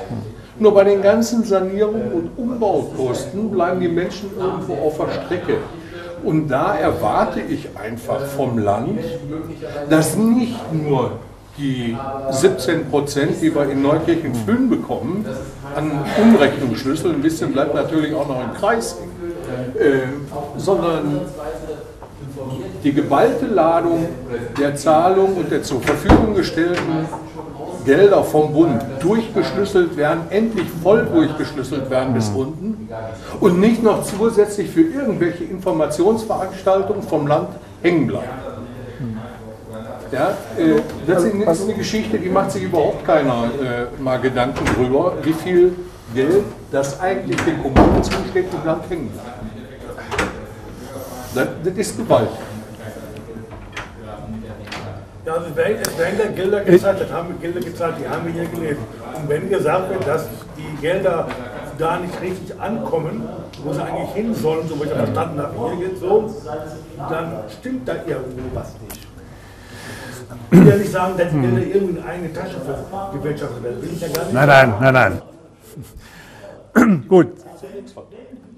Die werden rechts und links Ja. Also mehr Geld ist immer notwendig. Sowohl das Land braucht mehr Geld, wie auch die Kommunen brauchen mehr Geld. Das ist ähm, ähm, schwieriges Thema, weil ich als Land ja hier stehe und ihr seid alle Kommune und es ist völlig üblich, dass die Kommune immer sagt, her damit. Da Ähm, können wir ja an den Haushalten äh, der Kommunen Ja. festmachen, die äh, in überwiegender Anzahl mittlerweile äh, Sicherungskonzepte, mindestens Richtig. Sicherungskonzepte vorlegen. Also wir sind auch, ja, ja. Wir sind auch der Meinung, es hat ja, es hat ja vom, äh, im letzten Jahr vom Bund äh, eine, in Anführungsstrichen, Sonderzahlung gegeben, weil sich die Länder haben kaufen lassen, meine Ausdrucksweise, für den neuen Asylkompromiss. Das heißt, äh, Serbien, Bosnien-Herzegowina, Montenegro und so weiter zu sicheren Herkunftsländern zu, äh, zu machen. Gab es halt 500 Millionen äh, auf die Hand, 100 Millionen für NRW. Davon hat sich äh, das Land 500, Mi- äh, 50 Millionen genommen und gesagt, äh, davon zahlen sie, also haben sie mit 50 Millionen ihre Leistungen an die Kommunen, die sie schon eingeplant hatten, praktisch bezahlt. Und da haben wir auch einen Streit gehabt, dass diese, das Geld natürlich auch an die Kommunen fließen muss. Haben wir verloren den Streit. Äh, CDU hat das äh, auch zu ihrem äh, Thema gemacht, weil sie natürlich viele CDU-Bürger, weil es viele CDU-Bürgermeister gibt. So haben wir verloren, weil es natürlich klar, SPD und Grüne wollten, müssen ihre Landesausgaben auch finanzieren. Das haben die also äh, für sich behalten. Wir werden die Diskussion äh, weiterführen, dass es mehr Geld für die Kommunen geben muss, weil wir Standards eingehalten haben wollen. Ähm, aber wie gesagt, wir haben nicht die Mehrheit. Es ist äh, so, dass die, äh, das Land das einfach nicht bezahlen kann, bezahlen will. Das ist halt diese, diese unselige Diskussion. Ähm, wir können das Geld auch nicht schnitzen. Es ist auch jetzt wenig zielführend, darüber weiter zu reden. Äh, vielmehr sollten wir darüber reden, wo, was wir noch, wie auch innerhalb der Kommune vielleicht Dinge umverteilt werden können. Wenn es hier um Pflaster von 600 Euro im Quadratmeter geht, äh, dann muss man auch in der Kommune im Rat mal die Frage stellen, äh, ob das denn legitim ist, wenn halt das auszugeben, wenn halt an anderer Stelle äh, halt alte Holzbaracken für die Flüchtlingsunterbringung in der gleichen Kommune verwendet werden. Da muss sich dann der Bürgermeister äh, oder die Mehrheit im, im, Rat mal zu äußern, wie sie denn dazu äh, stehen. Ich glaube, da, wie gesagt, ist auch noch ein bisschen was. Stehen zum Pflaster. Ja, ja, gut. Ja, ja weil sie es können. Ja. Ja, ganz klar. Ja. CDU, 57 Prozent oder Also deswegen ein paar. Wir haben keine Standards für die Unterbringung, leider. Wir arbeiten dran, versuchen die zu definieren. Ähm, das ist ein ganz wichtiger Punkt, auf den man achten sollte in den Kommunen, gerade wenn halt äh, Schulen oder sowas umgebaut werden, was ja immer wieder mal äh, vorkommt, dass Klassenzimmer halt mit äh, drei, vier bis zu neun Leuten belegt werden. Ganz wichtig ist bei so einer Gemeinschaftsunterbringung, es muss Räume geben, wo sich die Menschen begegnen können. Das muss da vorhanden sein. Man kann nicht alles zur Wohnung machen. Es muss Hauswirtschaftsräume geben.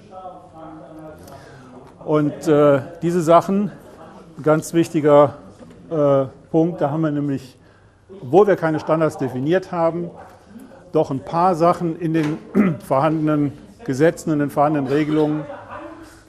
Äh, es gibt in Deutschland Regeln für Gemeinschaftsunterkünfte. Und zwar Hygiene.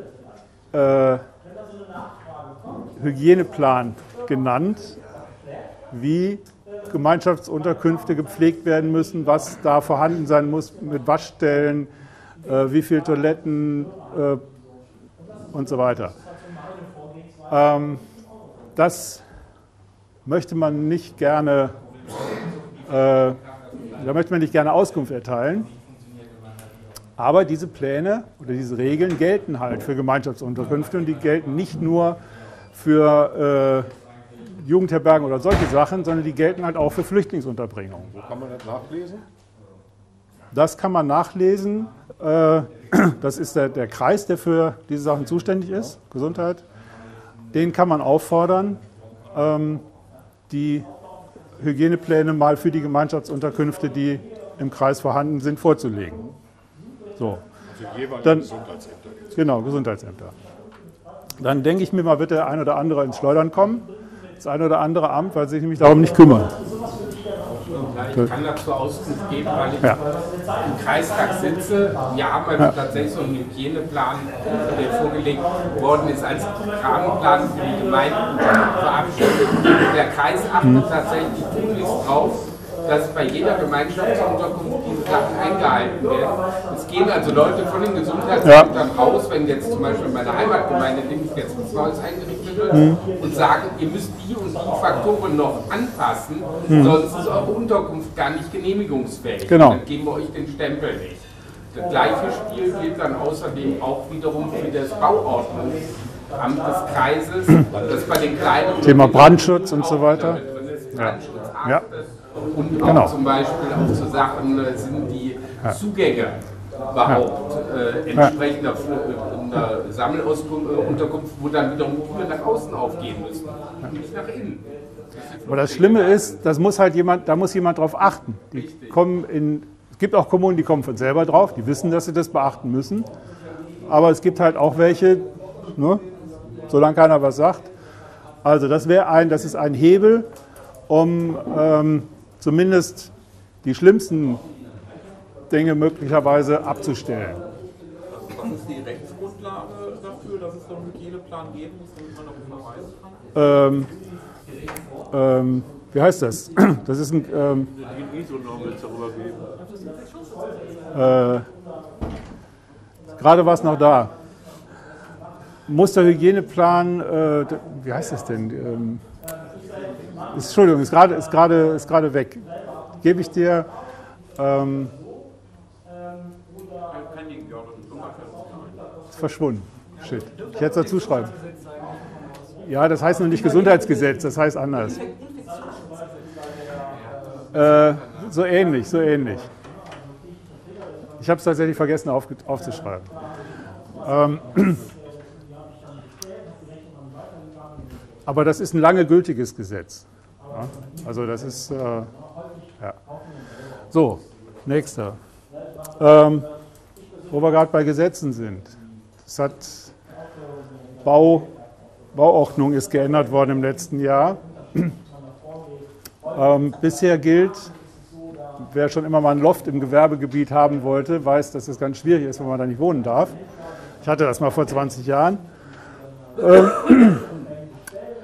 und ähm, da hat man jetzt halt was geändert, dass also es auch möglich ist, Sammelunterkünfte in Gewerbegebieten zu bauen, um es mal ganz plakativ auszudrücken. Nicht zu bauen, doch auch zu bauen, aber auch äh, umzunutzen, zum Beispiel leerstehende Bürogebäude eine ganz grauselige Geschichte, weil üblicherweise äh, in Gewerbegebieten es zwar durchaus falsch geplante Büroimmobilien gibt, die leer stehen, teilweise auch sehr lange, aber die sich auch äh, sowohl umgebungsmäßig wie auch vom Bau selber nicht für eine Flüchtlingsunterbringung eignen. Recht, nach dem geänderten Recht wäre es aber möglich, im Moment äh, solche Gebäude zu nutzen und äh, vorübergehend halt äh, umzubauen. Das ist ein Recht, was fünf Jahre lang jetzt äh, gelten soll. Und äh, es gibt halt Tendenzen von einigen Gemeinden, die gucken halt äh, in ihrer äh, Umgebung, ob sie da Flächen finden. Da würde ich halt auch darum bitten, ein Auge drauf zu halten, ein sehr kritisches Auge drauf zu halten, dass ähm, da nicht, der Punkt ist ja auch, weg ne, aus den Augen, äh, ist nicht in der Stadt, keine, sind keine, keine Wohnbebauung in der Gegend, also die, Leute, die Menschen sind halt so weggeschoben. Äh, das ist sicherlich nicht förderlich für die Integration, ist nicht förderlich für den äh, Umgang mit den Flüchtlingen und die Gebäude selber eignen sich in der Regel auch äh, nicht für eine vernünftige Unterbringung. Jetzt habe ich mal eine ketzerische Frage. Ja. Äh, jede Firma hat ja schon mal in der Regel eine Kantine, wenn es ein etwas größerer Bau ist. Da könnte man ja schon gut als Hm. Gemeinschaftsraum deklarieren, vielleicht auch als Hauswirtschaftsraum, weil eine kleine Küche ist da auch schon mal geeignet. Gibt es da besondere Quadratmeterzahlen oder für diese Sachen oder einfach nur muss, muss, muss der Raum vorhanden sein, egal wie groß? Äh, es gibt, wie gesagt, die Standards gibt es nicht. Es gibt aus, dem, äh, aus den Vorschriften für die Gemeinschaftsräume, also was den Hygieneplan angeht, gibt es keine Größe, Größenangabe für Küchen oder sowas nicht. Das nicht. Ähm, An dem Motto, da ist eine Küche, da ist ein Wasseranstoß und ein Behälter und da ist die Küche, egal wie Ja. groß die Küche ist, okay. ja, sie muss sich halt immer eignen. Also, Die muss sich nur als Küche eignen. Nee, auch für, die, für, die, für den geplanten Zweck. Ich meine, eine Kantine eignet sich sicherlich, um, um 100 Menschen, also je nachdem, wie groß die Firma ist, um 100 Menschen zu versorgen. Das ist keine Frage. Aber eignet sich das auch, um äh, dieses Gebäude auch um zu wohnen? Zum Beispiel? Tut es in der Regel nämlich nicht, weil es ein Büro ist. ne? Äh, Ja, was ist mit sanitären Einrichtungen? Gibt es dann nur. Äh, Da gibt es die Kauen, genau das wird in Werner nämlich gemacht. Ehemalige Bosch wird umgebaut Ja. zum also üblicherweise, da gibt es keine Duschen im Büro. Es gibt, die wenigsten Büros haben Duschen zum Beispiel. Aber in der Regel eine Toilette für Herren und Damen. Ja, eine. Oder je nachdem, wie groß es ist. Ja, natürlich. Ja, aber das ist halt. Umkleide ist ja nur bei, um, Umkleide ist ja nur, ist ja nur, nur bei Gewerbebetrieben. Und bei, bei Büroräumen hast du keine Umkleide. Also man kann sicherlich jedes Gebäude irgendwo umbauen. Das ist immer die Frage. Es ja Entschuldigung. In den Schulen ist es ja auch so, äh, dass da keine Duschen sind, dann wird äh, ein Duschcontainer aufgestellt. Ja, und dann, dann fangen wir schon wieder an. Ne? Also, da werden halt Container aufgestellt, die sind draußen auf dem Hof. Ne? Man kann es ja nicht im Raum, unter, im Gebäude unterbringen. Man kann alles irgendwo so bauen, dass es, irgendwelchen, dass es irgendwie geht. Die Frage ist, ob man das so machen sollte, ob das richtig ist. Ne? Also ich finde nicht, dass es richtig ist. Gerade bei den Umbauten, die wirklich Notlösungen Hm. sein sollten, Ja. sollte jeder, äh, jede Kommune darauf achten, innerhalb der Gebäude mindestens Toiletten vorzuhalten. Klar. Damit die Leute in den Nachtzeiten nicht rausrennen müssen. Ja, und Überhaupt. getrennt. Ne, Gender getrennt auf jeder Etage. Grundsätzliches äh, Thema ist auch so wenig Gemeinschaftsunterbringung wie möglich. Jede Gemeinde braucht irgendwo eine Gemeinschaftsunterbringung, weil auch nicht äh, alle Menschen in, in Wohnungen ähm, passen, weil Wohnungen sind halt äh, für Familien in erster Linie, also das wäre immer vorzuziehen, wenn eine Familie da ist, dass sie in der Wohnung untergebracht wird.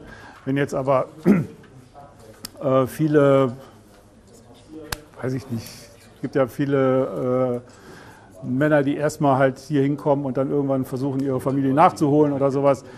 Da ist eine normale Wohnung vielleicht nicht so geeignet. Also es ist immer so eine Einzelfallgeschichte, was geeignet ist für die, für die Unterbringung, Gewerbe, äh, Quatsch, äh, Gemeinschaftsunterkünfte muss eine Kommune sicherlich irgendwo haben. Aber die müssen auch so sein, dass sie die Menschen nicht ausgrenzen. Also wie gesagt, ein leerstehendes Bürogebäude, was man äh, im Gewerbegebiet abgelegen, ohne ÖPNV-Verbindung abends vielleicht sogar, äh, ist keine gute Flüchtlingsunterbringung. Ja, Finde ich. Ein ganz wesentlicher Faktor ist der, bei der Gemeinde anfragen, welche Art von Flüchtlingen zugewiesen werden. Hm. Da gibt es nämlich Unterschiede. So bekommen zum Beispiel in meiner Heimatgemeinde hauptsächlich alleinstehende Männer zugewiesen. Das ist in vielen Gemeinden, und gerade kleineren so, Hm. um denen ein klein bisschen zu helfen. Im Großen sieht das häufig anders aus. Wir kriegen nämlich meistens die Familien zugewiesen. So, bei den alleinstehenden Männern ist Hm. es in der Regel einfacher, eine Sammelunterkunft zu machen, als bei Familien. Da ist, eine Wohnungsunterbringung dann eindeutig sinnvoller. Da, da muss man also tatsächlich nachfragen. Äh, Familien generell in Sammelunterkünften ist eine schwierige Nummer. Da müssen die Sachen Wegen der Kinder, ja, ja. ganz anders sein. Und dann kommt es auch wieder Hm. darauf an, äh, was wird da zusammengeschmissen an den verschiedenen Ethnien, wo die herkommen. Hm. Also da, es gibt nicht so eine Regel, dass kleinere Gemeinden eher Alleinreisende kriegen. Das ist sehr, ähm, Ja, darum sagt man Eins- nachfragen, was die Gemeinde bekommt. ja, das wird immer wieder anders sein. Also gibt es nicht so eine pauschale Regel, die Gemeinde kriegt immer so jemanden. So funktioniert das nicht, weil dazu gibt es zu viele und zu unterschiedliche Situationen. Aber es wird schon geguckt, dass es irgendwo passt. So, so, ich meine, das ist ja auch im Interesse der, äh, der Menschen, die das halt verteilen. Das bringt ja nichts, Probleme zu verursachen. Aber es gibt auch Grenzen, wo man halt äh, ne, auswählen kann. Ja. Also die Situation, äh, der Zuwachs ist ja für, die, für viele Kommunen so, Alter, Name, Geschlecht, mehr nicht.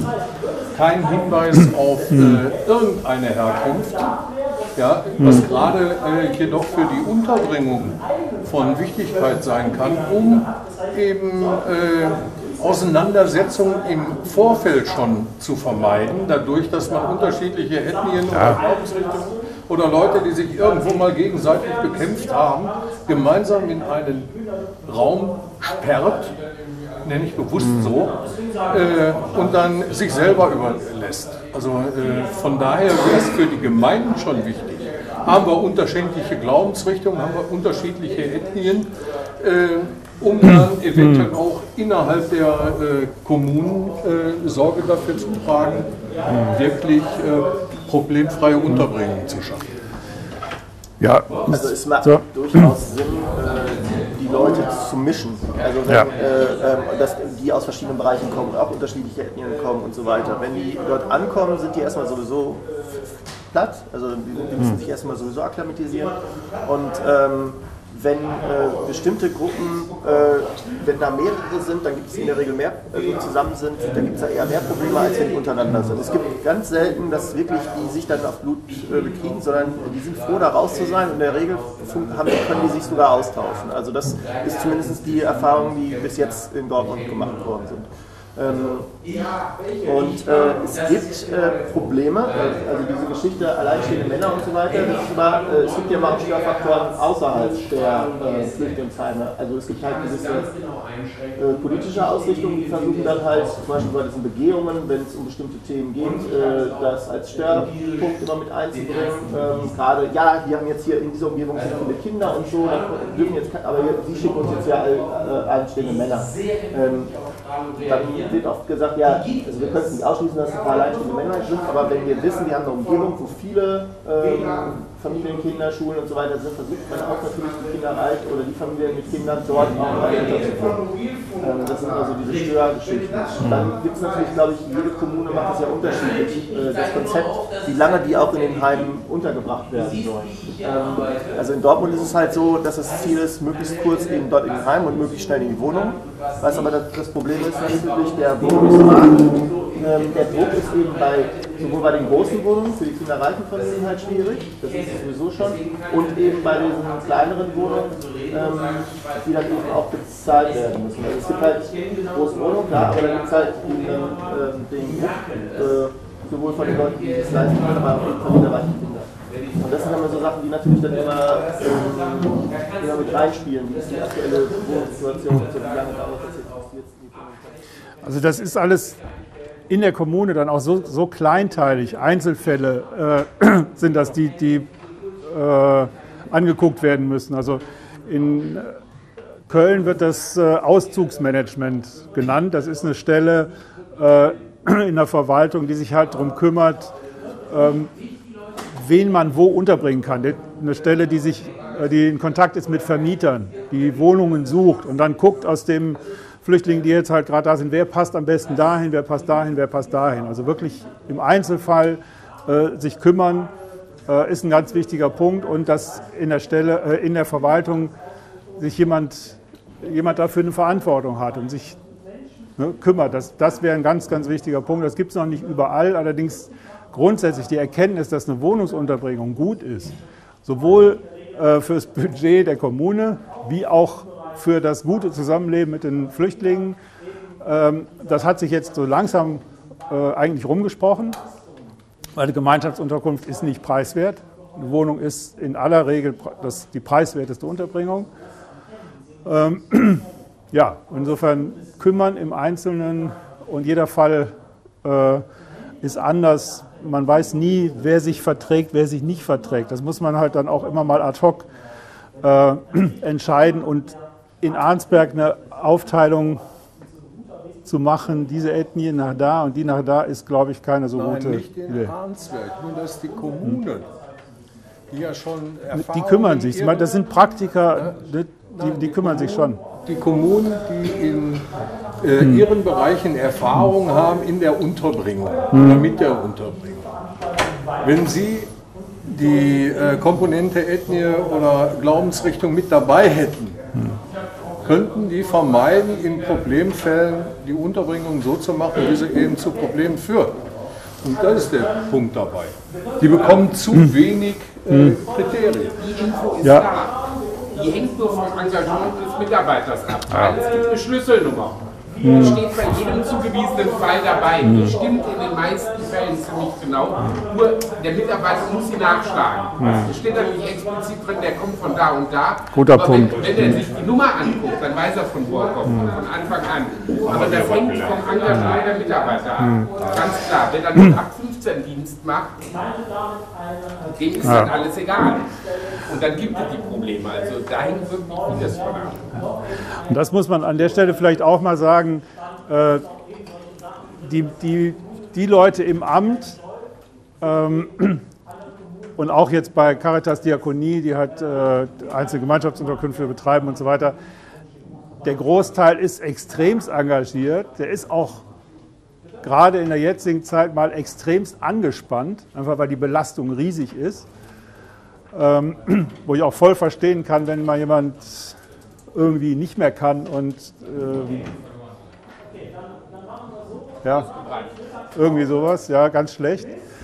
Ähm, also Hochachtung vor den Menschen, das muss man, glaube ich, auch in der Diskussion im Rat immer mal wieder klar machen, äh, was das für eine Belastung ist, auch für die Verwaltungsmitarbeiter. Und wenn es irgendwie geht, den Rat oder den Ausschuss vielleicht mal dahin kriegen, sich eine Gemeinschaftsunterbringung angucken, seeing is believing, einfach mal selber äh, gucken, weil dann kann man anders diskutieren. Haben die sicherlich auch schon mal gemacht, keine Frage, aber jetzt, ähm, weiß ich nicht, vielleicht, vielleicht nochmal neu.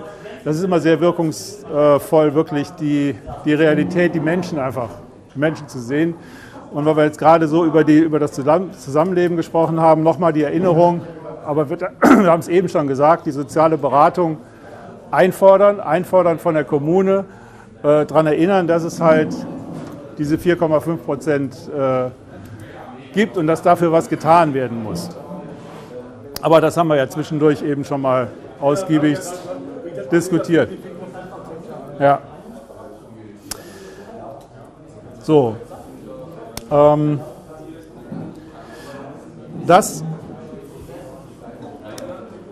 es gibt äh, Sonderförderung, ähm, das muss ich allerdings nachliefern über die, über die Mailingliste. Also wir haben äh, Programme, um äh, Sprachförderung zu machen. Das muss, da müssen aber von der Kommune muss da halt eine, ein Antrag kommen.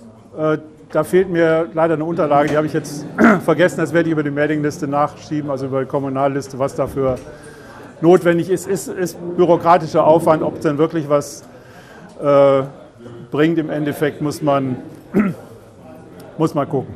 Aber wie gesagt, grundsätzlich darauf achten, dass die Kommune an der Stelle nicht, nicht spart, sondern die Menschen halt irgendwo betreut.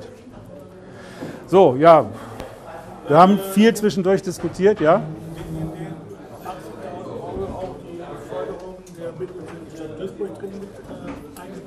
Bitte? Nochmal. Also ich habe jetzt hier für, für nachher, vielleicht machen wir gleich erstmal eine kurze Pause. Ja, ja.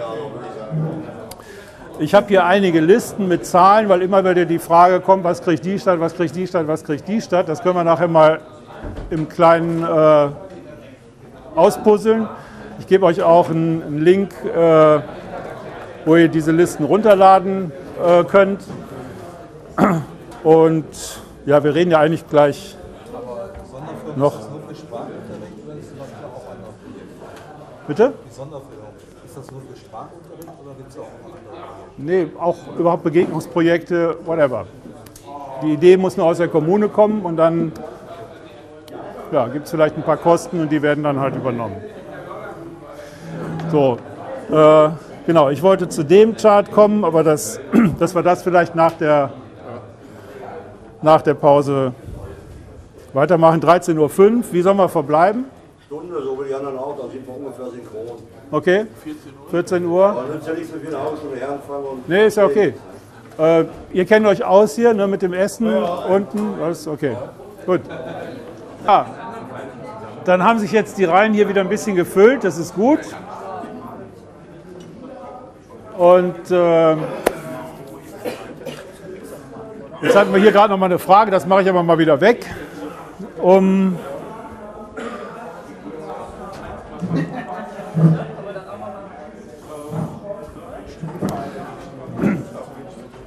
um nochmal ins Thema einzusteigen, äh, wollte ich nur was zeigen, was gar nichts damit zu tun hat im Moment.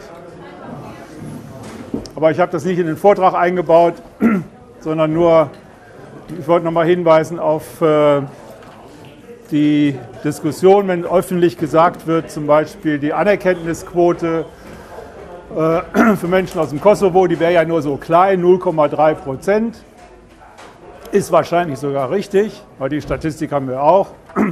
Nach gleichen Kriterien die Anerkennungsquote von anderen äh, aus anderen Ländern äh, liegt nicht viel anders, nämlich bei 1,4 oder 1,8 Prozent, weil da immer mit der Anerkennungsquote äh, Asylberechtigte, politisch Verfolgte argumentiert wird und die ist insgesamt sehr, sehr klein. Was? Ja, ja, okay. Und äh, da gibt es halt noch eine ganze Menge andere Gründe, äh, hauptsächlich halt humanitäre Gründe, warum äh, hier ein Aufenthaltsrecht gewährt wird. So müssen wir es ja genau äh, nennen.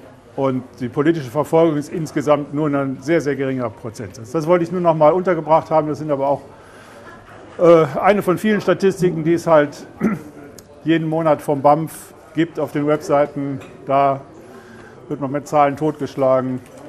Äh, ist immer ganz gut, sich da mal zu informieren und eine eigene Interpretation der Zahlen zu machen und als andere, äh, mit denen man diskutiert, im Stadtrat. So, jetzt, äh, ich habe eben eine Tafel noch nicht gezeigt gehabt, mit einer Adresse, die man ganz einfach abschreiben kann ganz unten die. Ja, ich habe keinen Shortener gefunden auf die.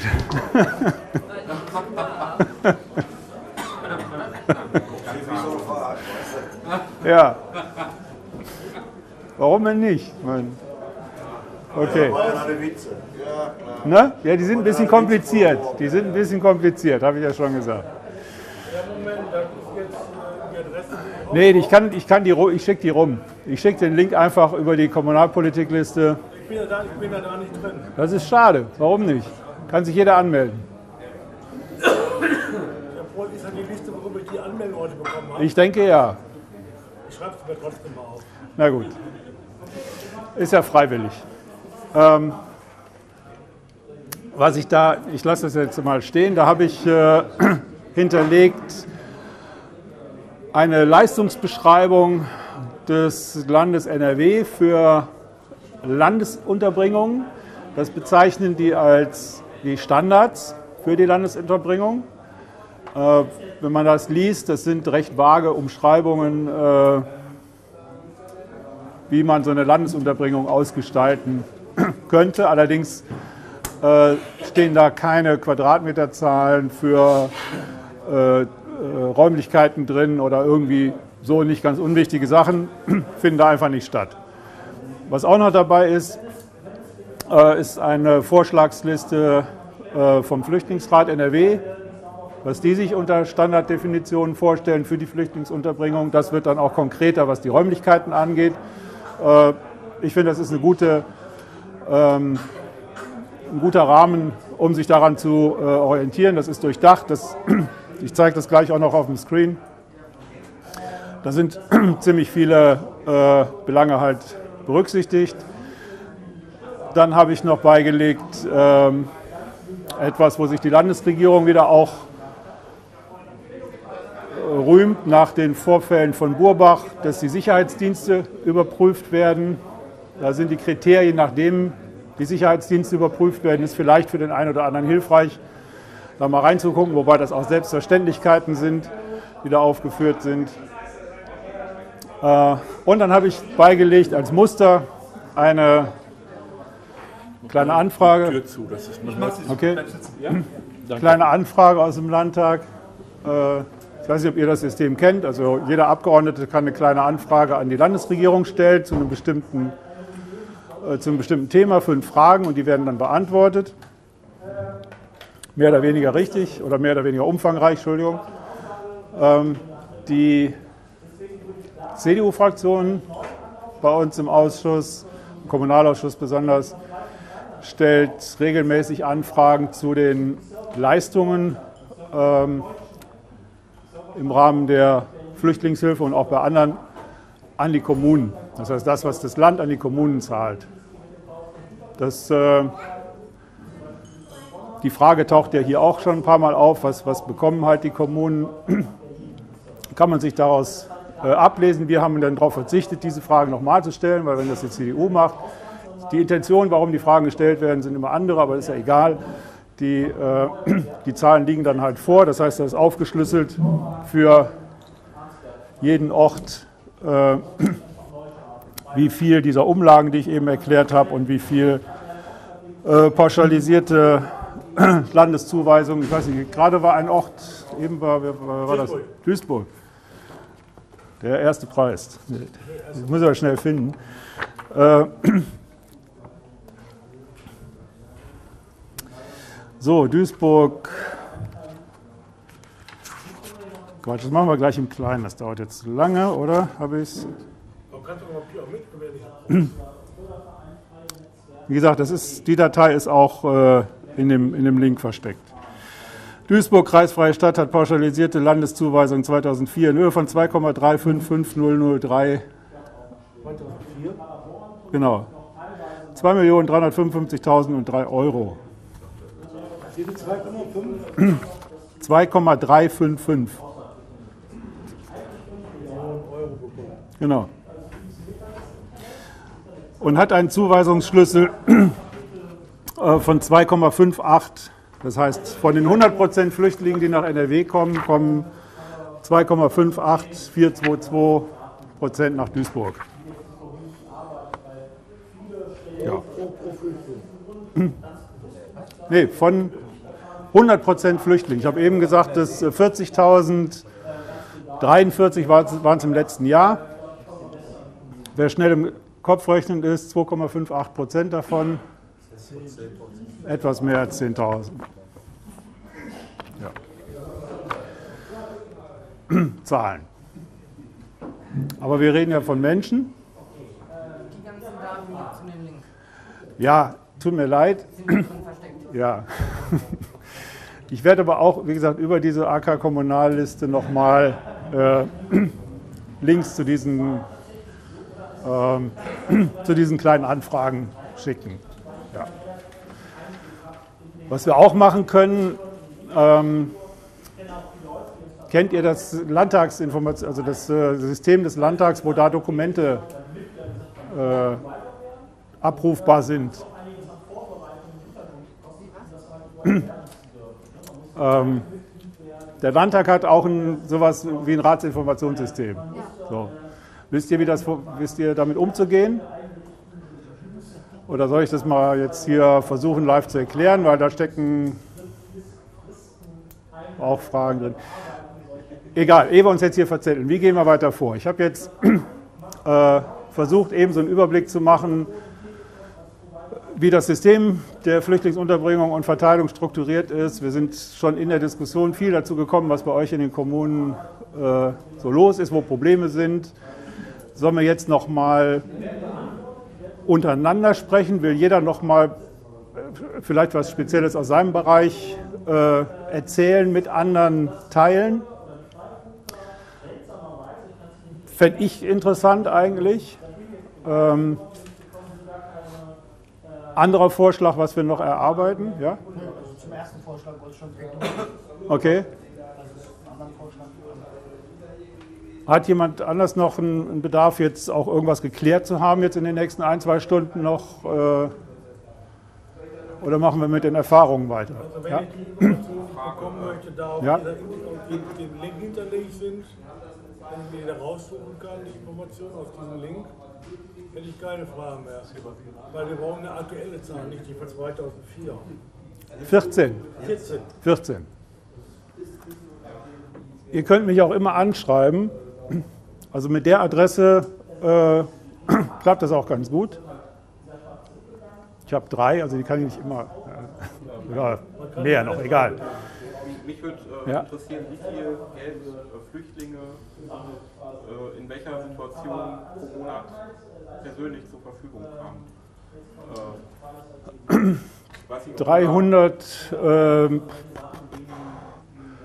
genau Betrag habe ich nicht, 314 irgendwie sowas. Ja, ich glaub, aber da gibt es auch Unterschiede, je nachdem, wie die äh, eingeschränkt sind. Ja, Also das, das würde mich interessieren. Weiß nicht, ob okay. Ja, es gibt fünf verschiedene Gruppen. Ähm, müsste ich kurz vorbereiten, habe ich jetzt nicht hier ganz parat. Es gibt fünf verschiedene äh, ja, Einstufungen, Alleinreisen, Familie, solche Sachen spielen eine Rolle. Das äh, mit den Geldmitteln ist es meistens eigentlich Geld inzwischen. Gibt nur ein Res und sowas, das, äh, wo das noch anders gehandhabt wird. Ja. Okay. Ja, Ja. kann ich gleich im, im äh, Einzelnen klären. Gut, ja, dann machen wir einfach äh, mal den Erfahrungsaustausch. Also, du wolltest also bei uns zu der Krankenkarte darf ich nur sagen, dass wir Aachen schon einen Antrag haben in Aachen, äh, wo wir halt die Verwaltung beauftragen wollen, dass sie quasi mit den gesetzlichen Krankenkassen mal in Kontakt treten. Okay. Nach dem Bremer Modell. Also Okay. Nur mal dazu, dass, äh, dass alle Fraktionen in Aachen das wollen. Ja. Von dem, was jetzt im Moment gerade ist. Mhm. Was in Aachen immer kommuniziert wird, ist die Sonderstellung der unbegleiteten minderjährigen Flüchtlinge. Richtig. Weil Aachen sagt, wir sind ja eine Grenzstadt, deswegen ist das bei uns nochmal ein bisschen erheblicher als bei den anderen. Weißt du, ob das stimmt oder so? Ja, ist richtig. Da wollte ich halt auch nochmal allgemein fragen, wie jetzt, wir haben über Flüchtlinge nur gesprochen, allgemein, ob das, was wir dann nochmal beachten müssen bei UMF zum Beispiel. Die werden ganz anders äh, behandelt, weil da ist eigentlich sofort das Jugendamt zuständig. Die fallen eigentlich gar nicht in diese normale, äh, in die Flüchtlingsunterbringung sowieso nicht, weil sie halt äh, besondere ähm, ähm, äh, na, Obhut, ja nicht Obhut bedürfen, aber halt besonderer äh, Betreuung auch. Äh, das ist richtig mit Aachen als Grenzstadt, weil die fallen halt ähm, Bundespol Bundespolizei. Genau, ist auch eine Bundespolizeistation. Das ist auch äh, Kempen, ist auch noch so, eine, so ein Ort, wo sehr viele anfallen, weil halt auch da die Polizei einen Standort hat, durch die Kontrollen im Zug und so weiter. Da gibt es gerade eine Diskussion, die, ähm, weil die Städte äh, tatsächlich stark belastet sind und Probleme haben mit der Unterbringung, also die in Hotels zu, steck, äh, zu stecken, das geht eigentlich gar nicht.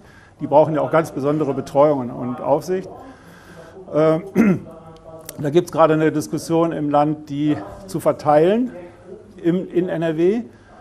Ähm, da habe ich ehrlich gesagt auch noch nicht die richtige Position, weil da gibt es sehr gegensätzliche Aussagen. Manche Fachleute sagen, nein, das ist nicht gut, weil in der Fläche, die wissen gar nicht, äh, mit denen umzugehen. Ne? Weil halt, genau, man braucht Wir spezielle. wollen jetzt Beispiel in Aachen auch, weil wir neun- 90 äh, UMFs haben, die nicht beschult werden wollen, ja. extra Schule für die als Initialbeschulung, den Regelschulbetrieb Ja. äh, aufgenommen werden können. Dann macht es vielleicht Sinn, die nicht so zu verteilen, weil man Ja. mit einer erheblichen Menge vielleicht mehr Mhm. im speziellen Angebot das mehr einstellen Ja, und es gibt halt auch die anderen Aussagen, die sagen, ja, verteilen, weil es gibt Pflegefamilien, die würden sich gerne drum kümmern. Äh, Die gibt es halt auch in der Fläche verteilt und man muss da halt nur mal äh, äh, die, die Kontakte zusammenbringen und dann könnte man sich auch eine flächenmäßige Verteilung vorstellen. Also das ist gerade so eine Diskussion von Fachleuten, wo es noch nicht ein richtiges Ergebnis gibt, hat aber, ähm, also gehört gar nicht zu der eigentlichen oder, oder zu der Flüchtlingsunterbringung als solche, weil sie müssen auf jeden Fall auch rein gesetzlich äh, ganz anders gehandhabt werden. Und das Jugendamt hat sofort die Zuständigkeit und gar nicht mehr Bezirksregierung oder irgendwie sowas. Das Ja. bis 18? Bitte? Bis 18, ja. Ja, ja Ja, 16. Also eigentlich war ab bei der Schule- 18. Ja, ja. Jetzt in Bezug auf die UMF Hm. und auch Flüchtlinge allgemein hatten wir irgendwo gesagt, wir ein paar Euro locker machen sollen für ein Telefon, was aufgestellt wird, damit die Leute nach Hause telefonieren können. Also so ein Festnetz. Okay. Ähm, wo wir dann, das ist nur mal ein Einwand, dass wir das stellen, wo ein Mitarbeiter von uns gesagt hat, oder ein Kollege von uns gesagt hat, die meisten Flüchtlinge, wenn sie herkommen, äh, zerreißen ihre Papiere, um erstmal nicht zu, also dass man sie nicht zuerst direkt zuweisen Mhm. kann. Weil man ja zum Beispiel sagen kann, okay, du kommst aus dem Kosovo, ist ja sicher, kannst wieder zurück. Äh, dass man da vielleicht aufpasst, dass man dann nicht so als Honeypot quasi, dass die Leute dann anrufen und dann sagt man, ja, du kommst ja gar nicht auf anders, Mhm. aus Afghanistan oder Pakistan, sondern du kommst irgendwie, also nur mal so auch ein bisschen. Das wäre das wär sehr dreist, wenn in so einer Situation äh, praktisch das, das Telefon äh, abgehört würde. Und man, ja, das dürfte nicht sein, würde ich mal sagen. Und wenn das rauskommt, äh, wäre ein veritabler Skandal, würde ich mal sagen. Ja, klar. ganz, ganz, ganz ehrlich, wenn Leute ihre Hm. Herkunft zu vertuschen, ja, äh, dann sind sie alle, allein schon aus dem Grunde ziemlich schnell weg, wenn, wenn, wenn, wenn man dahinter kommt. Dann ist sofort alles Wenn man dahinter kommt, und das ist, halt auch Zeit in Anspruch. Das nimmt ja auch Zeit in Anspruch, quasi dahinter zu kommen. Ich finde das ganz, ganz schwierig. Äh, Es wird sicherlich Leute geben, die nach hier kommen, ähm, wie soll ich mal sagen, um ein System auszunutzen, um unser System auszunutzen. Ich sag's mal, ich sag's aber. Die wird es sicherlich geben. Aber hey, keiner macht sowas, äh, weil er gerade Spaß dran hat.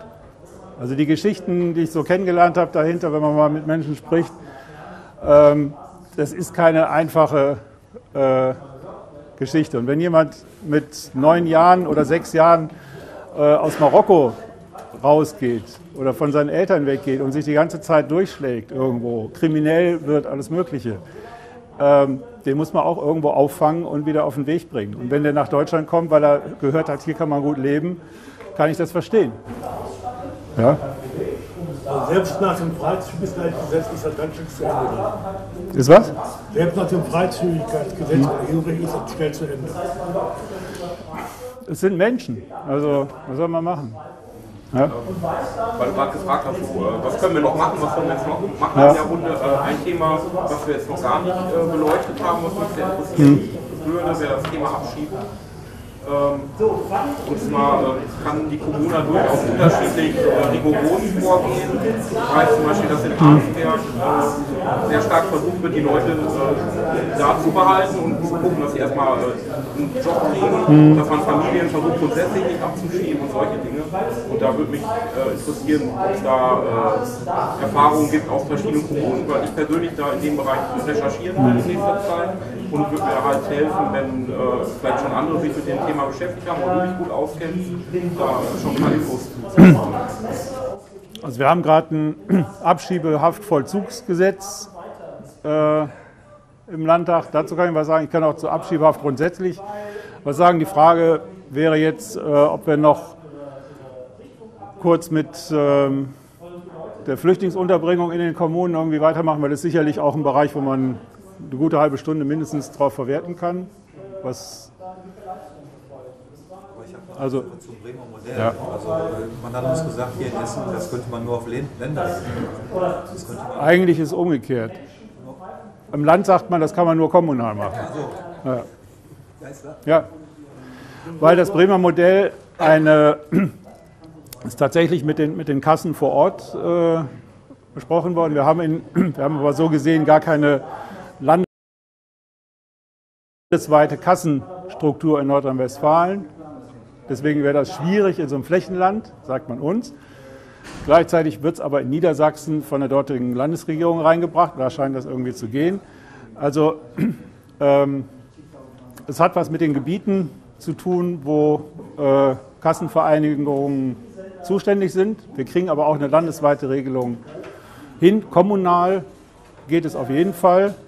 Äh, man muss es nur wollen. Also Essen wäre jetzt sicherlich groß genug. Also ganz kleiner Ort ist wiederum wahrscheinlich aus anderen Gründen schwierig. Ja, ja. Vielleicht, krank, vielleicht bleiben wir kurz bei dem Krankenthema. Wer, wer da noch was, äh, Krankenkosten, Versorgung, wer da noch was zu fragen hat oder zu berichten hat vielleicht, was bei ihm diskutiert wird, weil finde ich sehr gut, wenn so ein Antrag. interessiert etwas, das Modell oder so zu haben, ja. weil sie eventuell bei äh, hohen Kosten drauf sitzen bleiben.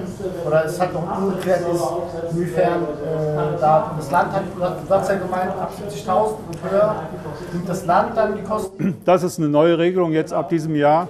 Also die, meiner Meinung nach sind die Kommunen trotzdem daran interessiert, so ein Modell dann anzuleiern. Eigentlich sollten sie das, ja. Deswegen wäre das vielleicht halt, ich weiß nicht mehr, aber ich glaube, der Antrag wurde von uns mal so eingebracht und dann haben, ich weiß, ich kann mich nicht daran erinnern, aber mhm. jetzt sind alle Fraktionen dafür. Also, ne? also im Endeffekt denke ich schon, dass es ein Thema ist, wo man zusammen direkt einen Unterschied findet. also erstmal die, die Idee, halt auch die Flüchtlinge in die Krankenversorgung reinzubringen, die verbreitet sich in Deutschland gerade. Es war auch geplant und ist nach wie vor, dass es vom Bund aus geregelt wird. Ähm, bundesgesetzlich wäre ja vieles möglich.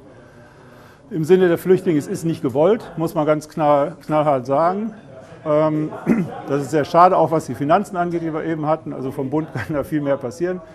So, und dieses, äh, das Bremer Modell ist halt das von unten äh, zu regeln, kommunal zu regeln. Und äh, ja, die Städte profitieren sicherlich, aber da ist die Berührungsangst, so ein System zu machen, sicherlich äh, groß gewesen. Aber jetzt haben es halt einige Städte gezeigt, dass es funktioniert und jetzt ziehen die anderen nach. Das ist ja eine gute Geschichte. Aber wäre es nicht, äh, das, also vielleicht auch nochmal das Einfache, von, vom, vom Land aus oder vom Land aus sozusagen äh, die kassenärztlichen Vereinigungen zu kontaktieren?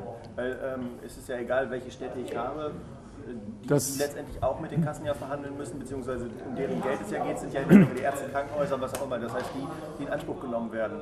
Und ähm, die kassenärztlichen Vereinigungen sind ja eben äh, dann wieder aufgeteilt. Also Wir haben ja den Antrag eingebracht dazu.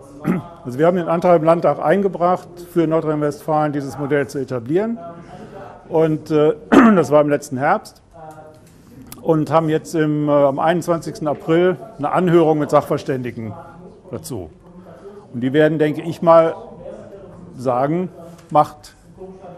Und die würden uns auch sagen, wie. Und dann äh, liegt es an den Mehrheitsfraktionen, den sogenannten regierungstragenden Fraktionen hier im Land das auch tatsächlich umzusetzen. Also wir reden aktuell im Landtag genau zu dem Punkt. Ja. ja. Das wäre dann das Thema Krankenversorgung. Nächster Punkt. Unterbringungsstandards hatte ich eben schon kurz äh, gesagt. Wie gesagt, gibt es einen Link zu den Vorschlägen von Flüchtling, vom Flüchtlingsrat und zu dem, was das äh, Land für Standards hält. Das, äh, jetzt hat sich das ja jeder abgeschrieben. Ähm,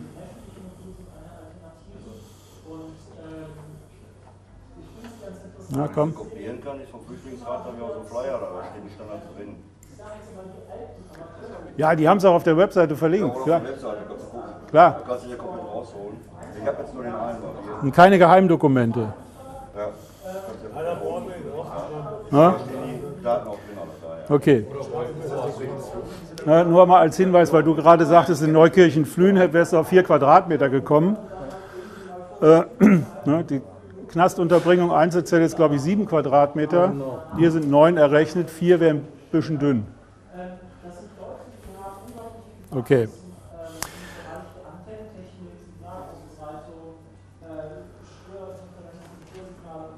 Andere Punkte? Sonst Abschiebung? Einverstanden? Okay, gut. Schulbesuch? Also wir äh, haben ja den, den äh, Schulbesuch für 16, da hatte ich mich immer vertan. Aber ich denke, es kommen so viele, äh, die gerade mit Vorbildung zu uns kommen Ja. und äh, hier dann einfach stagnieren in ihrer Bildung. Ich denke, äh, wenn wir doch Fachleute suchen, müssen wir auch daran interessiert sein, alle Leute. Ein bisschen lauter. Du, Also wenn wir äh, daran interessiert sind, Fachleute, Fachkräfte für unsere äh, Produktionsbetriebe oder äh, sonst wie Arbeitsplätze zu finden, müssen wir auch daran interessiert sein, jedem Menschen, der zu uns kommt, Bildung äh, bis zu seinem entsprechenden Abschluss zu gewähren. Ja. Aber zu Fach. Zum Gibt- Fachkräftemangel muss dringend intervenieren.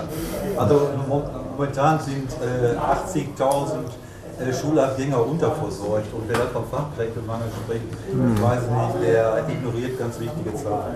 Und die 6 Millionen Arbeitslose, die nicht registriert sind, auch noch. Also wir haben genug Okay. Dann haben wir ja mehr.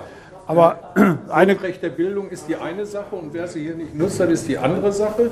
Es sind keine Stellen da für die Jungs. Äh, ist uninteressant, aber ich mu- muss doch jedem Menschen, äh, der gewillt ist, gebildet zu werden, die Möglichkeit geben. Das ist mir scheißegal, ob er aus dem Ausland zu uns kommt oder hier bei uns äh, zur Welt kommt. Aber 80.000 also viele sind ja gebildet, die hier hinkommen. Und die sind äh, sogar besser gebildet nach Untersuchung als äh, der Durchschnitt in Deutschland.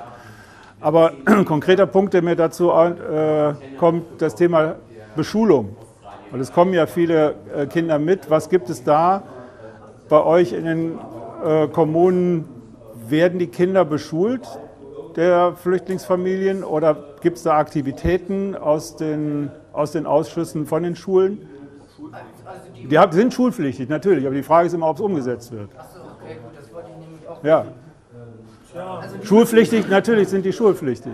Ja, das ist überhaupt keine, gar keine Frage.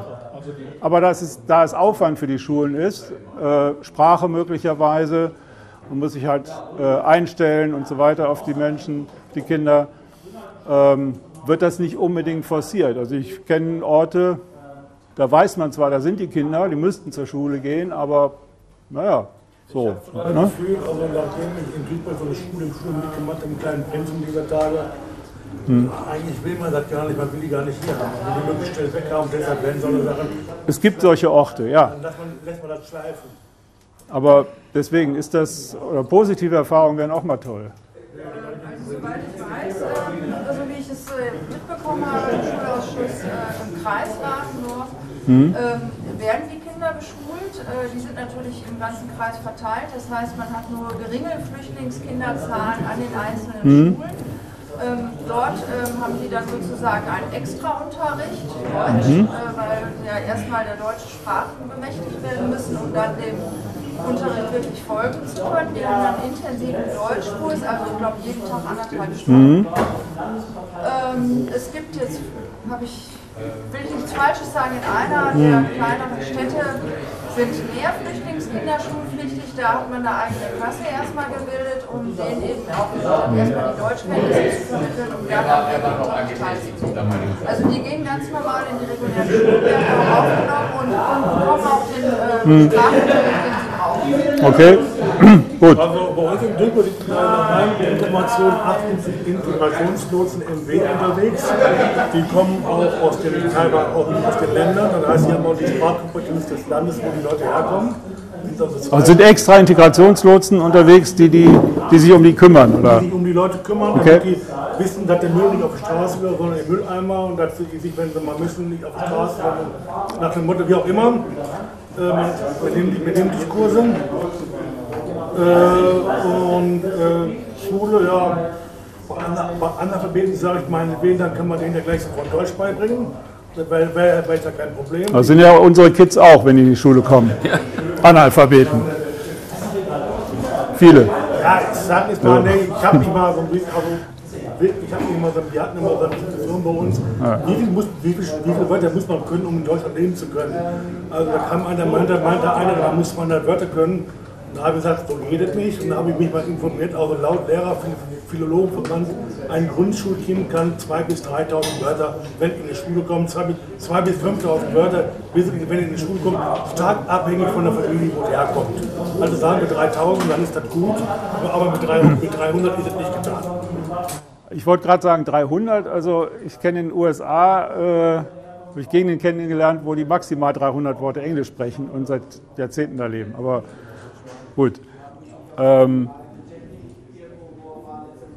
halten wir fest, Schulpflicht ist da.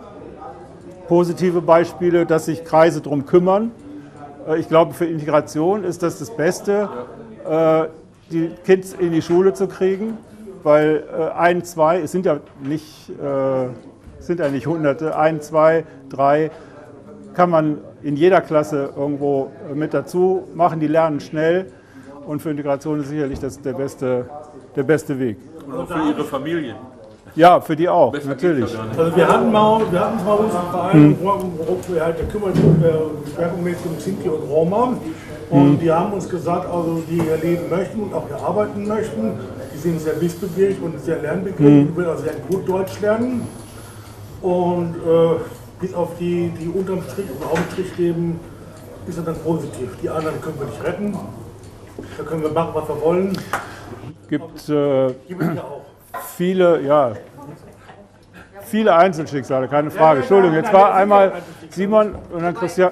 Wobei gerade bei den Sissi und Roma in Duisburg ja auch das Problem ist, dass die teilweise wirklich überhaupt nicht von den Schulen genommen werden. Also wir haben das teilweise auch, dass wir hinterher telefonieren müssen bei der hm. Stadt und äh, dann auch Druck machen, beziehungsweise sagen, okay, wenn ihr die Kinder jetzt nicht beschult, dann, äh, dann sagen wir das der Zeitung letztendlich, mhm. ja, und dann klappt es meistens, dass der nächste Tag dann plötzlich doch der Schule ist. Mhm. Ja, dann eben mit Trockenhaut. Ja, ja, ich wollte nur noch fragen, wie das ist äh, zum Thema Kita. Also haben die auch ein Recht darauf, ihre Kinder an die Kita und so weiter? Oder? Erwischt, erwischt. Äh, wer kann mir aus Apache helfen? Kann ich gerade nicht sagen. Weil Kita-Pflicht haben wir, glaube ich, nicht. Haben wir nicht. Wir haben keine Kita-Pflicht, wir haben aber das äh, Kita-Recht. Ja. Nur wird es bei den Flüchtlingen in der Regel äh, nicht genutzt, ihre Kinder in Kindertageseinrichtungen oder Kindergärten zu führen. So ist bei mir die Erfahrung. Mag anders sein. Äh, ich habe auch noch eine Frage zu dir. Äh, Im Warendorf, äh, die Beschulung der äh, Kinder äh, insgesamt. Bezieht sich das jetzt auf die Hauptschule oder äh, ist das bei euch durchgängig, dass äh, alle Schulen besucht werden? Also jetzt im Schulausschuss wurde keine Differenzierung gemacht äh, oder habe ich zumindest nicht gehört, dass jetzt aufgelistet wurde, wie viele Kinder an welchen Grundschulen oder weiterführenden Schulen und davon jetzt unabhängig ob Hauptschule, Realschule Ja. oder Sekundarschule oder Gymnasium. Ähm, so aufgesplittet war es nicht, sondern es ging erstmal darum, grundsätzlich die ähm, sozusagen teilnahmefähig zu machen, also sprich die Sprachbarriere äh, Barriere erstmal zu, abzubauen, damit sie überhaupt am Regelunterricht teilnehmen können. Aber dass sie eben jetzt auch schon am Regelunterricht teilnehmen, auch wenn sie vielleicht die ersten Wochen nicht viel verstehen, weil sie ja parallel den Deutschunterricht kriegen. Sie kriegen ja jetzt nicht erst drei Monate nur Deutschunterricht, sondern äh, sind ja schon praktisch im Klassenverband. Ähm, Je jünger, desto unkomplizierter wird es ja wahrscheinlich sein. Mit Händen, Füßen, Lachen und Ball äh, geht vieles. Klar. Ne? Und ähm, da begleite ich jetzt mal direkt auf die Kita um. Äh, man ist bemüht, man bewirbt äh, sozusagen im Kreis äh, unter den äh, Flüchtlingen die Kita äh, und versucht die Eltern zu ermutigen, ihre Kinder eben auch in die Kita zu gehen ähm, weil es eben leichter ist, Anschluss in die Gesellschaft zu finden, wenn eben auch die Kleinen schon in der Kita sind. Ähm, da natürlich auch äh, die Landessprachen von der Landessprache umgeben sind und sie nicht alleine in ihrem Familienverband, sag ich mal, der, die Sache aussitzen. Und ähm, also da ist die Bemühungen auch groß. Allerdings muss man auch sagen, wir haben jetzt auch im Moment keine, kein Defizit, sondern auch einen Kita-Platz brauchen oder sowas, die kriegen auch einen. Also, Also geht die Initiative tatsächlich von, von der Politik aus? Äh, von der ja, Verwaltung? das ist ja Verwaltung, aber es ist eher ein Zusammenschluss und es gibt äh, diesbezüglich dann äh, tatsächlich sowas wie ähm, runde Tische oder Arbeitskreise, wo sich alle Akteure zusammenfinden. Die Schulen, die Schulsozialarbeiter, das Jugendamt, äh, äh, wer alles ja eben Akteur ist, wird damit ins Boot geholt, um dann zu gucken, wie kann man diese Kinder dann auch optimal fördern. Und dann versucht, das eben auch umzusetzen. Ob das immer so klappt, das ist eine andere Geschichte. Ja, aber hört sich gut an. Bin, Ja, ich meine, das hört sich ja gut an, aber das schwächste Glied in der Kette sind nur die Kindergärtnerinnen. Ich weiß nicht, ob sich einer vorstellen kann, im Kindergarten, also wenn also da äh, 10 oder 20 Kinder sind, wovon nur zwei deutschsprachig sind, also dann landet jetzt wirklich die ganze Arbeit bei den Das Kindergärtnerinnen. Und das natürlich aber krass andersrum. Genau, andersrum. Äh, Ja. Ich spreche jetzt vom Kreis Warndorf und nicht von Duisburg oder sowas äh, oder noch immer. Wir haben eine sehr geringe, wir haben ja so viele Flüchtlinge und die sind auf dem ganzen Kreis verteilt. Das heißt also nicht in einer Gruppe sind zwei deutschsprachige Kinder und der Rest aber, nicht. aber hier im Ruhrgebiet ist das die Regel. Ja, aber ich spreche da jetzt. Äh, wenn ich da mal kurz aber einhaken darf, wenn das die Regel ist, äh, dann müssen die Kindergärtnerinnen aber auch darauf eingestellt sein. Ja. Ja, also, ja gut, das ist und, aber, äh, und keiner vertritt deren Interesse zum Ja, Beispiel. Moment. Da wird der Rattenschwanz von Interessen vertreten. Ist. Ja, so ein Problem ist komplex. Das weiß ich. Wo du die ganzen Leute? Ja. Ja, eben warten, bis er zu Ende ist. okay. Ja, ich kann dazu sagen, meine Frau ist Integrationskraft im Kindergarten. Also das Problem ist nicht da, die, mit den Kindern. Das Kinder, mit den Kindern in dem Alter ist es einfach so umzugehen, egal wo die weg sind. Ja, wie, wie, äh, wie du eben sagtest, oder was Kinder mit dem Ball spielen, das machen, auf den Schoß nehmen, wenn sie traurig sind, das ist das Einfachste, mit denen klarzukommen. Und da haben die, die ist 56, macht das ihr Leben lang schon, ja, die hat viele Ausbildungen auch gemacht, aber das ist das Problem nicht. Aber eine Frage, die Integrationskraft ist betreut ein. Nein, die ist in der Gruppe mit drin. Ja? Mit 25 Kindern, mit anderen noch einer anderen äh, Kraft, die da drin ist oder was. Die betreut nicht nur den einen, sondern das wäre ja falsch, wenn sie nur das eine Kind betreut in der Gruppe von den anderen. Die soll ja integrieren da drin. Ja? Einspruch, Kinder machen keine Unterschiede. Unterschiede machen nur die Erwachsenen. Ich habe nicht gesagt, dass Kinder Nee, unterschiedlich da willst du, willst du, da willst du ja damit ausdrücken.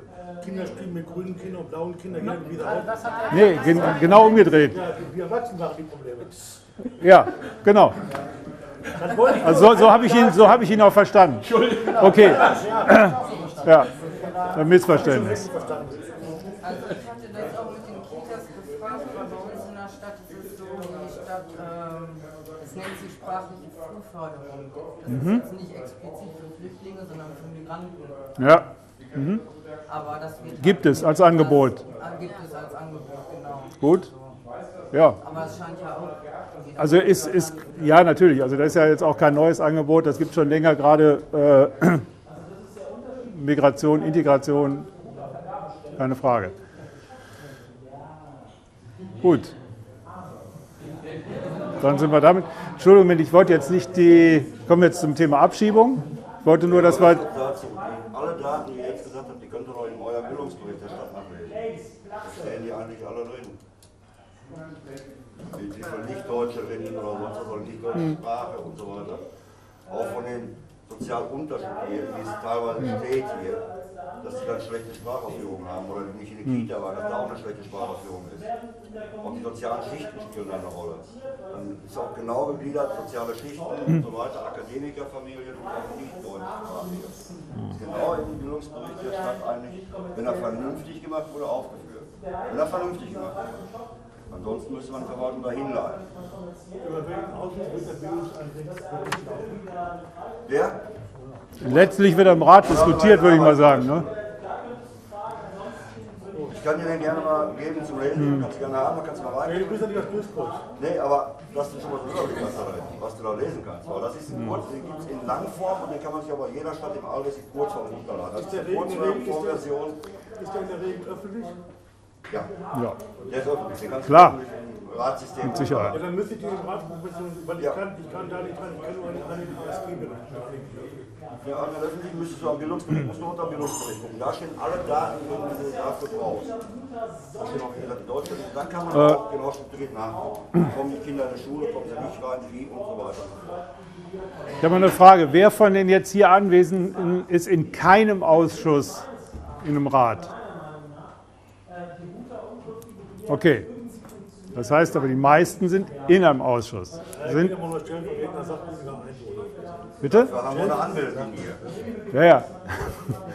Wer ist im Schulausschuss? Egal. Wer weiß, dass es den Schulausschuss gibt oder so. Ja. Nein, oder, oder hat er schon mal teilgenommen an Sitzungen? So, das meine ich halt so. Okay, Sozialausschuss? Ich bin im Arbeitskreis im Schulausschuss. Okay, Sozialausschuss ein bisschen mehr. Gut, aber mit den Belangen. Okay, ja, die Benennung der Ausschüsse ist ja auch schon immer ein bisschen unterschiedlich in den Gemeinden. Und solange die öffentlich sagen, ich kann nicht in jeder Sitzung eines, eines jeden Ausschusses teilnehmen. Das ist auch klar, klar. Aber grundsätzlich Thematik Schule bzw. Sozialausschuss, Flüchtlinge liegt ja nah. Also das heißt, ähm, die ich ich. Ja, ja. ich. Jetzt haben jetzt aber ein paar nicht aufgezeigt. Was habe ich denn vergessen? Du, wo in welchem Ausschuss bist du? Ich bin in gar keinem Ausschuss. Ah, okay, alles klar. Wir bearbeiten das Thema. Äh, Ja, das ja, okay, okay, alles Ich klar. habe schon beim Schulausschuss, aber Kinder- und Jugendausschuss. Kind und Jugend gibt's- Dann Okay, Kinder und Jugend gibt es nicht in jedem, äh, glaube ich, in jeder Stadt, aber in der Stadtgröße, ja. Okay. Ja, okay. Äh, haben wir eine Struktur, dass sich die äh, in diesen Ausschüssen tätigen, also im sozialen Bereich, dass die sich austauschen, die haben wir ja auch noch nicht. Ne? Wäre das wünschenswert? Wie würde man. ja. Ja, okay, das ist die, das ist die Partei AG. Es jetzt, ging jetzt gerade um die kommunale Arbeit, also die Arbeit im Rat.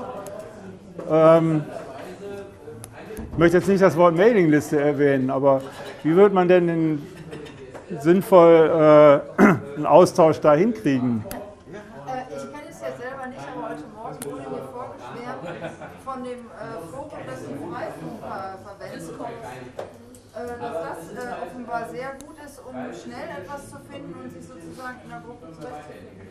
Wenn du das kennst, erzähl du doch was. kenne ich, aber es wurde so. Äh, ich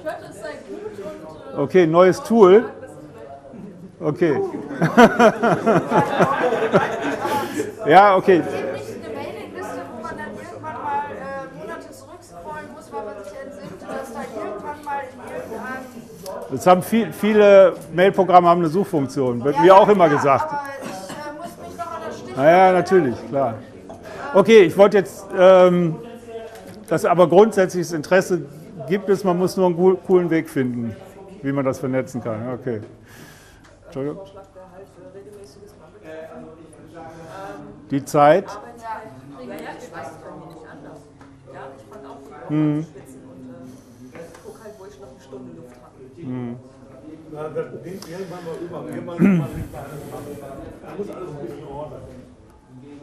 Ja, halt. Okay, ich wollte es noch mal wissen, aber das alles klar. Gut, dann äh, wechseln wir jetzt zu der unschönen Seite der Flüchtlingspolitik, nämlich zum Thema Abschiebung. Ähm, ja, ich habe am Anfang äh, Bundesamt für Migration und Flüchtlinge erwähnt. Die sind Herr des Verfahrens, die sind Herr des äh, Asylverfahrens und die sind diejenigen, die das auch irgendwann entweder einen Haken drunter machen und irgendeinen Paragraphen angeben, warum sie dem stattgeben, oder die sagen, Niet, abgelehnt. Ähm, es gibt dann immer noch einen Klageweg, Zweitantrag und so weiter und so fort. Also bleiben wir mal dabei, es ist also endgültig abgelehnt. Ein Bewerber wird hier erken- äh, erhält keinen Aufenthaltsstatus und wobei das ah, es gibt auch noch für Abgelehnte einen Aufenthaltsstatus, aber gehen wir mal davon aus, dass wir also jemanden haben, der eigentlich das Land verlassen sollte. Ähm, da gibt es dann noch Gründe, warum er das nicht kann. Unverschuldet teilweise auch. Insofern, wenn man gar nicht weiß, wohin er abgeschoben werden soll. Also wenn er von dem Land, wo man meint, dass er hingehört, gar keine Papiere bekommt. Weil wir dürfen nicht äh, Menschen abschieben ins Nirvana, wir müssen ihn also in ein anderes Land schieben. Und wenn man sagt, hier ist jetzt, weiß ich nicht, einer aus äh, Ghana und Ghana sagt aber, nee, der gehört nicht zu uns, der kriegt keinen Pass, und den hat er keinen, dann kann man den halt nicht nach Ghana abschieben. Dann hängt er hier rum, ist vom Verfahren abgelehnt, kann aber nicht abgeschoben werden. Und da gibt es noch ein paar äh, andere Gründe, auch wenn ähm, meinetwegen die Asylbeantragung, also der, der Grund für das Asyl nicht anerkannt wurde, aber trotzdem in dem Land, zu dem er gehört, kriegerische Auseinandersetzungen sind, dann kann man ihn auch nicht abschieben oder man schiebt ihn halt nicht ab. Das ist dann, geht in diesen Bereich geduldet äh, halt rein. Die kriegen aber eine Aufenthaltsgenehmigung für ein paar Monate meistens. Äh, meistens nicht länger als für ein Jahr, also eher kürzer. Und äh, das teilweise aber auch über Jahre und Jahrzehnte. Wir haben Menschen, und auch nicht wenige, die äh, fünf, acht, zehn Jahre hier leben, als abgelehnte Asylbewerber geduldet. Und die Familie haben Kinder, die hier geboren sind und so weiter. Das heißt Und- aber auch, dass Sie nicht arbeiten dürfen in der Zeit. Äh, Doch, sie dürfen arbeiten nach, äh, Frist habe ich jetzt nicht genau im Kopf, aber sie kriegen, müssen- kriegen so eine Arbeitsbescheinigung. Nach, ich glaube, nach drei Jahren war das, jetzt ist die Frist verkürzt worden. Entschuldigung? Ja? Leute dann ja nur geduldet sind und keine Möglichkeit haben und aber im Grunde das über so lange Zeit geht. Gibt es da nicht irgendein Verfahren oder was auch immer, dass man sagt, okay, die sind jetzt seit drei, vier, fünf Jahren. Kriegt die Green Card. Ja, das wird viel diskutiert, aber es kommt nicht äh, zu Potte. Jetzt wird ja diese, äh, ähm, dass sie Arbeits, arbeiten dürfen, ist ja gerade, wie gesagt, die Frist verkürzt worden. Ich glaube, ein halbes Jahr ist es jetzt noch. Ich habe es nicht ganz genau im Kopf, was vorher drei Jahre war. Also offiziell Asyl ist erledigt, bekommen sie nicht, aber es gibt Gründe, warum sie nicht abgeschoben werden. Und sie werden inzwischen ähm, weil sie schon so lange hier leben, kriegen sie auch eine, Arbeits-, eine Arbeitsmöglichkeit. Dieses, diese Schritte, dieses, äh, diesen Zickzackkurs, den gibt es. Ähm, Aber es gibt nicht eine klare Aussage. Ich meine, wer jetzt die Nachrichten der letzten Tage äh, verfolgt hat, da ging es wieder darum, ist Deutschland ein Einwanderungsland oder nicht. Man trifft da eigentlich keine Aussage und laviert sich halt so rum. Und genauso ist das halt mit den Gesetzen und Vorschriften auch. Es gibt keine klare Struktur, äh, hier Leute aufzunehmen. So. Ähm. Äh, man ist bemüht, man bewirbt sozusagen im Kreis äh, unter den äh, Flüchtlingen die Kita äh, und versucht die Eltern zu ermutigen, ihre Kinder eben auch in die Kita zu gehen. Mhm. Ähm, weil es eben leichter ist, Anschluss in die Gesellschaft zu finden, wenn eben auch die Kleinen schon in der Kita sind. Ähm, da natürlich auch äh, in Landessprachen, von der Landessprache umgeben sind und sie nicht alleine in ihrem Familienverband, sag ich mal, der, die Sache aussitzen. Und ähm, also da ist die Verantwortung auch groß. Allerdings muss man auch sagen, wir haben jetzt auch im Moment keine, kein Defizit, sondern alle Eltern, die auch einen Kita-Platz brauchen oder sowas, die kriegen auch ein. Also, also geht die Initiative tatsächlich von, von der Politik aus? Äh, von ja, von, das ist ja Verwaltung, aber es ist eher ein Zusammenschluss und es gibt äh, diesbezüglich dann äh, tatsächlich sowas wie ähm, runde Tische oder Arbeitskreise, wo sich alle Akteure zusammenfinden. Die Schulen, die Schulsozialarbeiter, das Jugendamt, äh, äh, wer alles der Akteur ist, wird damit ins Boot geholt um dann zu gucken, wie kann man diese Kinder dann auch optimal fördern. Dann das eben auch umzusetzen. Ob das immer so klappt, das ist eine andere Geschichte. Ja, aber hört sich gut an. In ja, ich meine, das hört sich ja gut an, aber das schwächste Glied in der Kette sind nur die Kindergärtnerinnen. Ich weiß nicht, ob sich einer vorstellen kann, im Kindergarten, also wenn also da 10 oder 20 Kinder sind, wovon nur zwei deutschsprachig sind. Also dann landet ja. wirklich die ganze Arbeit bei den Kindergärtnerinnen. Und das ist Aber krass andersrum. Genau, andersrum. Äh, ja. Ich spreche jetzt vom Kreis Warndorf und nicht von Duisburg oder sowas oder noch immer. Wir haben eine sehr geringe, wir haben ja so viele Flüchtlinge und die sind auf dem ganzen Kreis verteilt. Das heißt also nicht in einer Gruppe sind zwei deutschsprachige Kinder und der Rest aber, nicht. Aber hier im Ruhrgebiet ist das die Regel. Ja, aber ich spreche da jetzt aus. Äh, wenn ich da mal kurz aber einhaken darf, wenn das die Regel ist, äh, dann müssen die Kindergärtnerinnen aber auch darauf eingestellt sein. Ja. Ja, also, ja gut, das und, ist aber. Äh, und keiner vertritt deren Interessen zum Beispiel. Okay. Da wird das Rattenschwanz von Interessen vertreten. ja, so ein Problem ist komplex. Das weiß ich. Wo bist du die ganzen Leute? Ja. ja, eben warten, bis er zu Ende ist. Okay. Ja, ich kann dazu sagen, meine Frau ist Integrationskraft im Kindergarten. Also das Problem ist nicht da, die, mit den Kindern. Das Kinder, mit den Kindern in dem Alter ist es einfach so umzugehen, egal wo die weg sind. Ja, wie, wie, wie, du eben sagtest, oder was Kinder mit dem Ball spielen, das machen, auf den Schoß nehmen, wenn sie traurig sind, das ist das Einfachste, mit denen klarzukommen. Und da haben die, die 56 macht das ihr Leben lang schon, ja, die hat viele Ausbildungen auch gemacht, aber das ist das Problem nicht. Aber eine Frage, die Integrationskraft betreut einer? Nein, die ist in der Gruppe mit drin. Ja? Mit 25 Kindern, mit anderen noch einer anderen äh, Kraft, die da drin ist oder was. Die betreut nicht nur den einen, sondern das wäre ja falsch, wenn sie nur das eine Kind betreut in der Gruppe von den anderen. Die soll ja integrieren da drin. Ja? Einspruch, Kinder machen keine Unterschiede. Unterschiede machen nur die Erwachsenen. Ich habe nicht gesagt, dass Kinder Unterschiede Nee, da willst, willst, du, da willst du ja damit ausdrücken. Kinder spielen mit grünen Kindern und blauen Kindern gerne wieder auf. Nee, gen genau umgedreht. Ja, die Erwachsenen machen die Probleme. Ja, genau. Also so, so habe ich, ihn, so hab ich ihn auch verstanden. Okay. Ja, ein Missverständnis. Also ich hatte das auch mit den Kitas gefragt, aber bei uns in der Stadt ist es so, die Stadt, es nennt sich sprachliche Frühförderung. Das Mhm. ist jetzt nicht explizit für Flüchtlinge, sondern für Migranten. Ja. Mhm. Aber das wird Gibt es als Angebot. Gibt es als Angebot, genau. Gut. Ja. Aber es scheint ja auch. Also ist, ist, ja natürlich, also das ist ja jetzt auch kein neues Angebot, das gibt schon länger gerade äh, Migration, Integration, keine Frage. Gut. Dann sind wir damit. Entschuldigung, ich wollte jetzt nicht die, kommen wir jetzt zum Thema Abschiebung. Ich wollte nur, dass wir... Alle Daten, die ihr jetzt gesagt habt, die könnt ihr doch in eurem Bildungsbericht der Stadt nachlesen. Da stehen die eigentlich alle drin.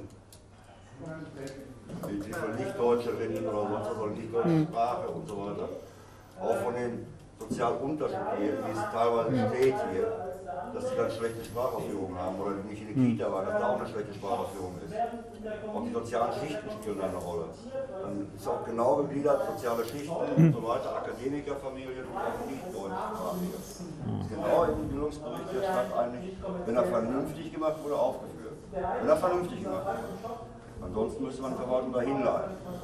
Über welchen Ausschuss wird der Bildungseinrichtung? Wer? Letztlich wird im Rat diskutiert, würde ich mal sagen. Ne? Ich kann dir den gerne mal geben zum Lesen, Hm. kannst du gerne haben, dann kannst du mal rein. Nee, du bist ja nicht das Duisburg. Nee, aber dass du schon mal da drin, was du da lesen kannst. Weil das ist ein kurz, den gibt es in Langform und den kann man sich aber in jeder Stadt im Allgäu in Kurzform runterladen. Das ist der die Regen, Regen ist, Kurzform-Version. der, ist der in der Regel öffentlich? Ja. Ja. Der Klar. Ratssystem Mit Sicherheit. Ja, dann müsste ich den Ratskommission, weil ich, kann, ich kann da nicht dran, ich kann nur an den- an den ASG-Bereich. Ja, an den öffentlichen müsstest du am Bildungsbericht, musst du unter dem Bildungsbericht gucken. Da stehen alle Daten drin, die du dafür brauchst. Da stehen auch wieder die Deutschen. Und dann kann man Äh. auch genau strukturiert nachgucken. Kommen die Kinder in die Schule, kommen sie nicht rein, wie und so weiter. Ich habe mal eine Frage. Wer von den jetzt hier Anwesenden ist in keinem Ausschuss in einem Rat? Okay. Das heißt aber, die meisten sind in einem Ausschuss. Sind, bitte? Ja, ja. Wer ist im Schulausschuss? Egal. Wer weiß, dass es den Schulausschuss gibt oder so. Ja. Nein, oder, oder hat er schon mal teilgenommen an Sitzungen? So, das meine ich halt so. Okay, Sozialausschuss? Ja, ich bin im Arbeitskreis des Schulausschuss.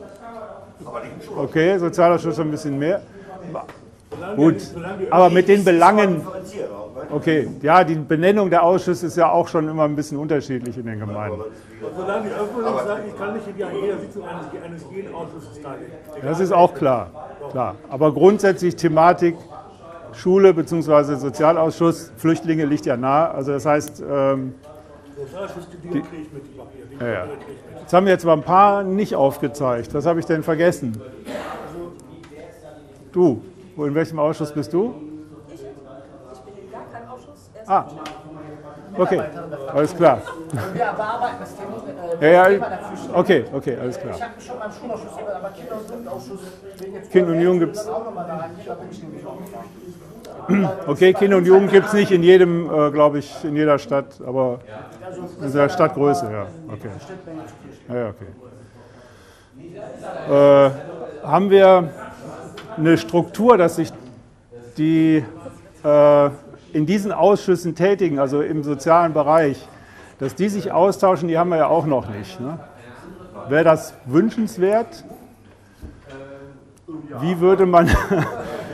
ja. Ja, okay, das ist die, das ist die Partei AG. Es jetzt, ging jetzt gerade um die kommunale Arbeit, also die Arbeit im Rat.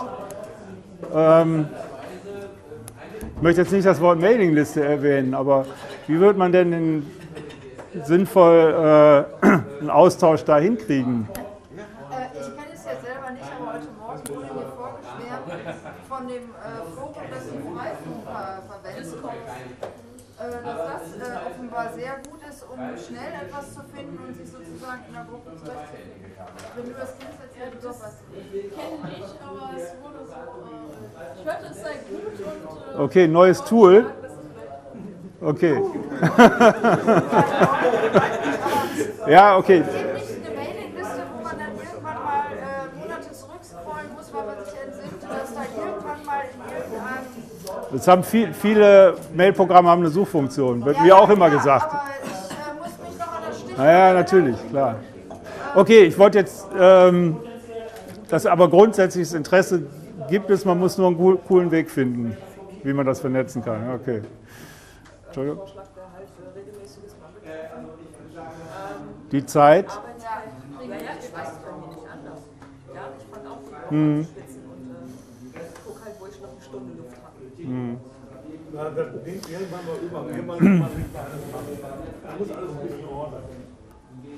Ja, Okay, ich wollte es noch mal wissen, aber das alles klar. Gut, dann äh, wechseln wir jetzt zu der unschönen Seite der Flüchtlingspolitik, nämlich zum Thema Abschiebung.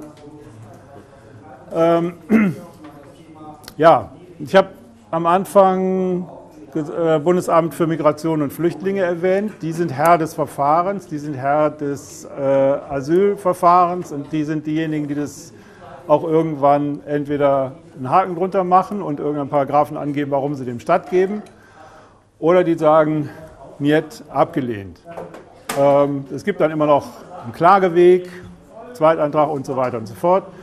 Also bleiben wir mal dabei, es ist also endgültig abgelehnt. Ein Bewerber wird hier äh, erhält keinen Aufenthaltsstatus.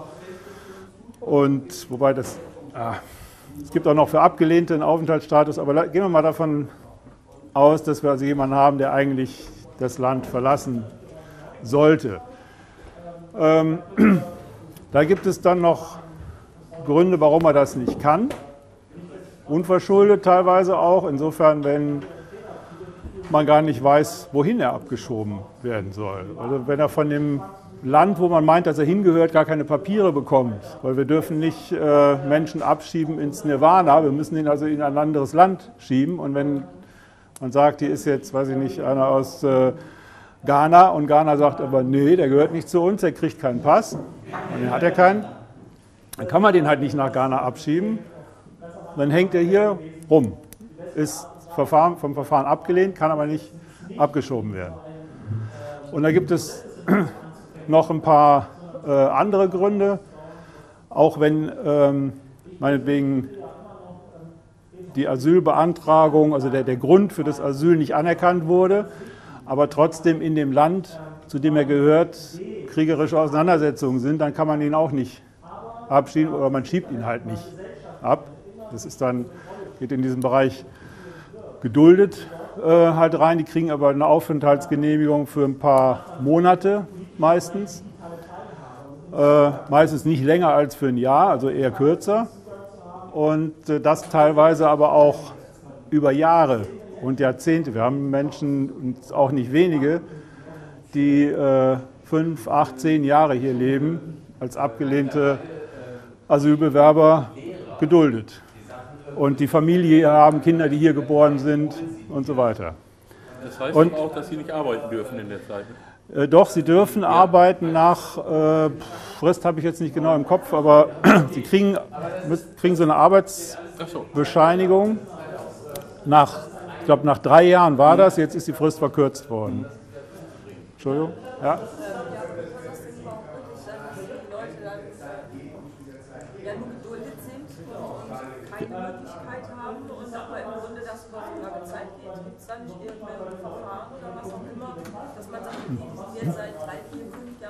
Green Card. Ja, das wird viel diskutiert, aber es kommt nicht äh, zu Potte. Jetzt wird ja diese, äh, ähm, dass sie Arbeits, arbeiten dürfen, ist ja gerade, wie gesagt, die Frist verkürzt worden. Ich glaube, ein halbes Jahr ist es jetzt noch. Ich habe es nicht ganz genau im Kopf. Was vorher drei Jahre war.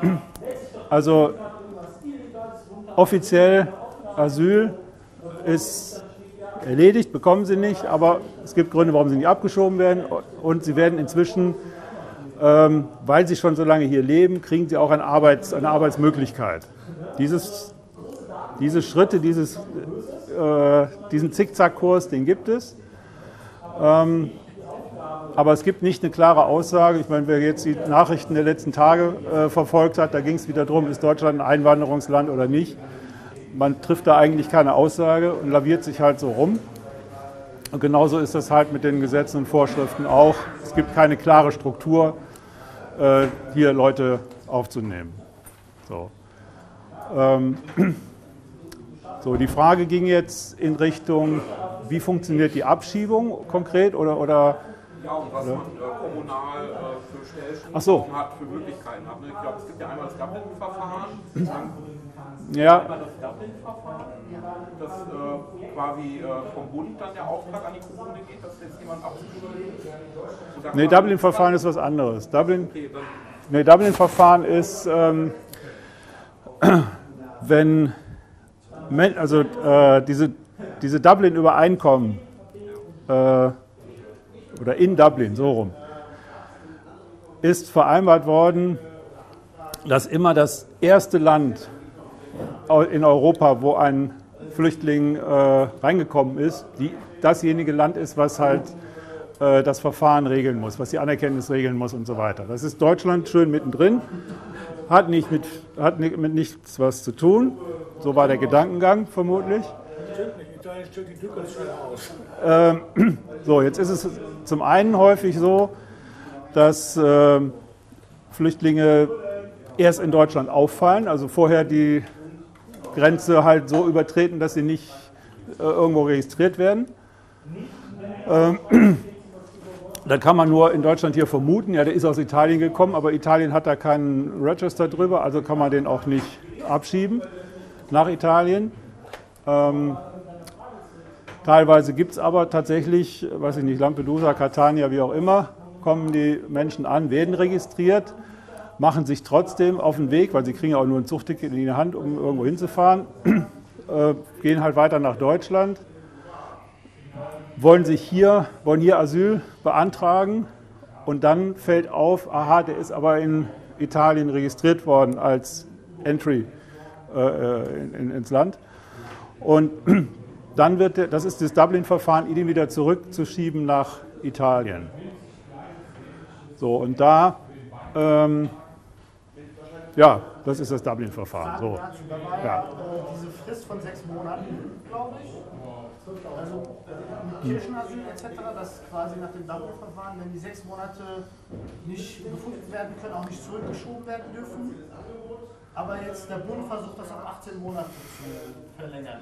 Da war doch irgendwas mit. Äh, die in der Kirche Asyl finden. Kirchenasyl ist eine ganz eigene Geschichte.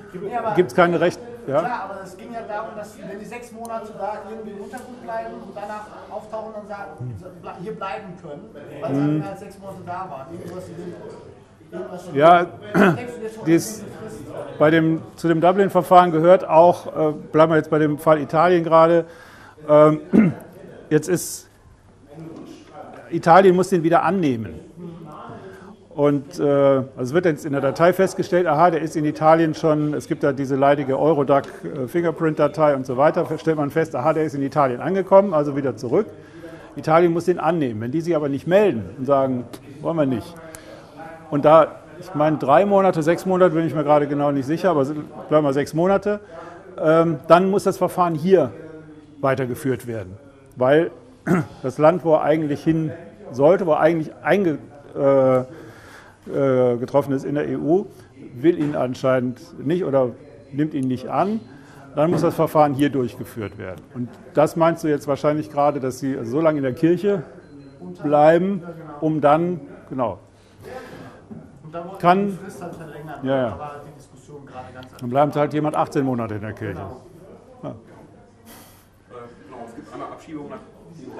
Das, hat, das sind aber praktisch vor Beginn des Asylverfahrens.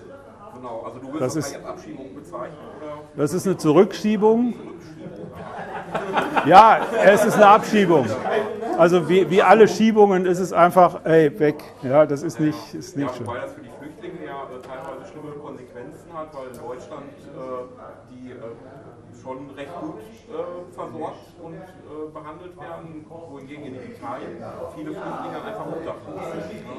Da gibt es äh, auch schon Verfahren drüber vor Menschenrechtsgerichtshof und, und anderen. Also gerade was Italien angeht, zum Beispiel hat äh, Deutschland entschieden, nachdem Gerichtsverfahren durchgeführt worden sind, allerdings erst, dass Familien nicht mehr nach Italien zurückgeschoben werden, weil die Unterbringungen da als nicht menschenwürdig erachtet werden. Für Einzelasylbewerber, äh, Asylbewerber, männliche, gilt das noch nicht, die werden noch zurückgeschoben. Speziell Familien halt. Ja, okay, dann, dann ist die Frage bei Dublin-Verfahren, da kann die Kommune ja nicht viel dran machen, wenn ich das richtig verstehe. Aber die Richtig. Anderen, Da hat die eigentlich die Kommune sowieso wenig mit zu tun, weil das Dublin-Verfahren betrifft ja Fälle, die eigentlich das Asylverfahren noch gar nicht begonnen haben, richtig. äh, Und in der Kommune niemand sein sollte, dessen Asylverfahren noch nicht läuft. Aber bei Flüchtlingen, wo das Asylverfahren abgelehnt wurde, das Ja. wäre das, was wir als eigentliche Abschiebung Richtig? Ja. Äh, da kann die Kommune ja so Ermessensspielraum Richtig. umgehen. Äh, Genau, das wäre jetzt der Punkt. Genau, da, da, da meine Frage war eigentlich, ob da Erfahrungen gibt aus verschiedenen Kommunen, die Ja. definitiv. und wie die Stellschrauben da so sind und äh, ob vielleicht schon jemand Anträge gemacht hat, Anfragen. Also, wie gesagt, äh, das, das BAMF ist Herr des Verfahrens, Herrin des Verfahrens.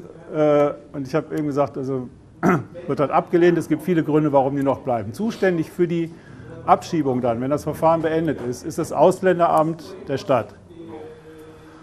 Und ähm, ja, da ist dann der Ermessensspielraum. Also ob die Abschiebung möglich ist, muss geprüft werden. Diese äh, Geschichten, also es gibt keine Papiere, das Land nimmt ihn nicht auf und, und diese ganzen Geschichten. Ähm, oder aus Gründen, halt, das geht schon so lange, hat vielleicht ein Asylverfahren über drei, vier Jahre, ist aber schon verwurzelt, hat äh, Familie äh, gegründet und, und weiß der Kuckuck, alle möglichen Gründe. Ähm, dann kann eine Stadt den Menschen schon halten, prinzipiell. Ja. Was? Ja, zwischen? Ich weiß es. Okay, du zuerst. Dieser Ermessensspielraum, Ja. ist der bundesweit geregelt oder ist das auch wieder Nee. Länder oder, oder Kommunen? Das ist, äh, das ist äh, ja. Sach, Sachbearbeiter. Ich, ähm, Nee, ne? Es gibt einen Zwang zur Abschiebung meines Wissens nach nicht, aber nee. Und damit ist man nicht. zufrieden. Frag ich jetzt mal. Ähm, ja gut, Weil es kann ja nicht sein, dass irgendeiner, jeder mag irgendeine Nase nicht oder irgendwas, aber das kann ja kein Prinzip sein, um Menschen da wieder irgendwo hinzuschicken. Moment, es gibt, Moment, Moment. Also ab, erstmal gibt, ist ja ein Verfahren durchlaufen worden. Wir haben ein, wir haben ein Rechtssystem, Asyl, Antragstellung und da entscheiden ja, entscheidet nicht nur die Behörde, da gibt es auch den Klageweg. Wenn die Entscheidung meinetwegen negativ ausfällt, dann kann der Asylbewerber auch klagen vor einem ordentlichen Weiß er Gericht. das? Kriegt er das gesagt? Kriegt Das, er äh, wird er sich- Oder sowas, dass der ihm hilft? Äh, da gibt es eine Menge, da gibt es eine Menge Hilfsorganisationen, die sich um diese Fälle kümmern, natürlich, klar. Die kriegen auch Informationen, was sie machen können, also wie die Rechtswege äh, sind. Die Informationen kriegen sie allerdings auch nicht auf dem goldenen äh, Tablett teilweise. Die Einspruchsfristen sind zum Beispiel sehr kurz, sie sind jetzt auch noch verkürzt worden. Äh, ich glaube, zwei Wochen Einspruchsfrist nach einem bestimmten Verfahren und ja, Ja. es ist nicht, es ist nicht einfach, aber viele Sachen sind nicht einfach. Aber zum Schluss sitzt da eine Person. Ähm, nee, also bitte. Warum denn Ermessenssache? Wenn das Ja, doch. doch so klar, er, durch, er durchläuft ein. Moment, Moment. Wie, ob jemand hier bleibt. Stadt oder der Kreis insgesamt mit der Situation Ah. umgeht. So rum. Sie könnten jetzt, also äh, sagen wir mal, unser Kreis keinen Tag länger, sobald ein Bescheid da ist, sitzt du auch im Flieger. Mhm. Das könnten die machen, rein theoretisch. Gehst ab nach Büren und das war's. zack, das mit, mit dem Zusteller ist der Peterwagen gleich Mhm. dabei, Koffer packen ab zum Flughafen. Ist aber wahnsinnig teuer und müsste Mhm. vom Kreis bezahlt werden. Deswegen geht der Kreis Warn auf einen anderen Weg. Wir haben eine Rückkehrerberatung. Dafür gibt es ein Budget pro Beratung, ich glaube, wir aufgestockt auf 7.500 oder 8.000 Euro. Das heißt also, diejenigen, die einen abgelehnten Asylantrag äh, erhalten haben, die werden beraten, ähm, wie es optimalerweise, sag ich mal, sie in ihr Heimatland zurückkehren. Dabei kann es auch sein, dass sie nochmal, bevor sie zurückkehren, qualifiziert werden. Das ist sozusagen die Frage, damit sie freiwillig, also es akzeptieren, okay, ich darf hier nicht bleiben, aber ähm, ich kann hier noch einen LKW-Führerschein machen und dann gehe ich zurück, weil dann habe ich auch wieder zu Hause eine Perspektive, zum Beispiel. Ja. Ja, weil das betrifft ja Ach so. hauptsächlich, sag ich mal, tatsächlich diese Gruppe von Wirtschaftsflüchtlingen, die zu Hause keine Perspektive sehen und hier hinkommen, weil sie hoffen, hier endlich in Würde Arbeit ich ja zu wahrscheinlich andersrum auch machen. So, ne? Also es gibt so eine Rückkehrerberatung und äh, man versucht das gestellter äh, sozusagen, die dann äh, entsprechend beraten und eventuell eben, wie gesagt, auch entsprechend äh, qualifiziert dann sozusagen dazu zu bewegen, wieder Hm. freiwillig nach Hause zu kommen. Danke. Danke für das Stichwort mit der äh, Rückkehrerberatung bzw. freiwillig, weil wir jetzt mit Abschiebung, wenn man das so im Kopf hat, dann denkt man, Sofort an den Polizeiwagen. Ja, vor allen Dingen denkt man dran, dass alle abgelehnten äh, Asylverfahren abgeschoben werden. Das ist ja Quatsch. Die meisten verlassen freiwillig wieder äh, das Land.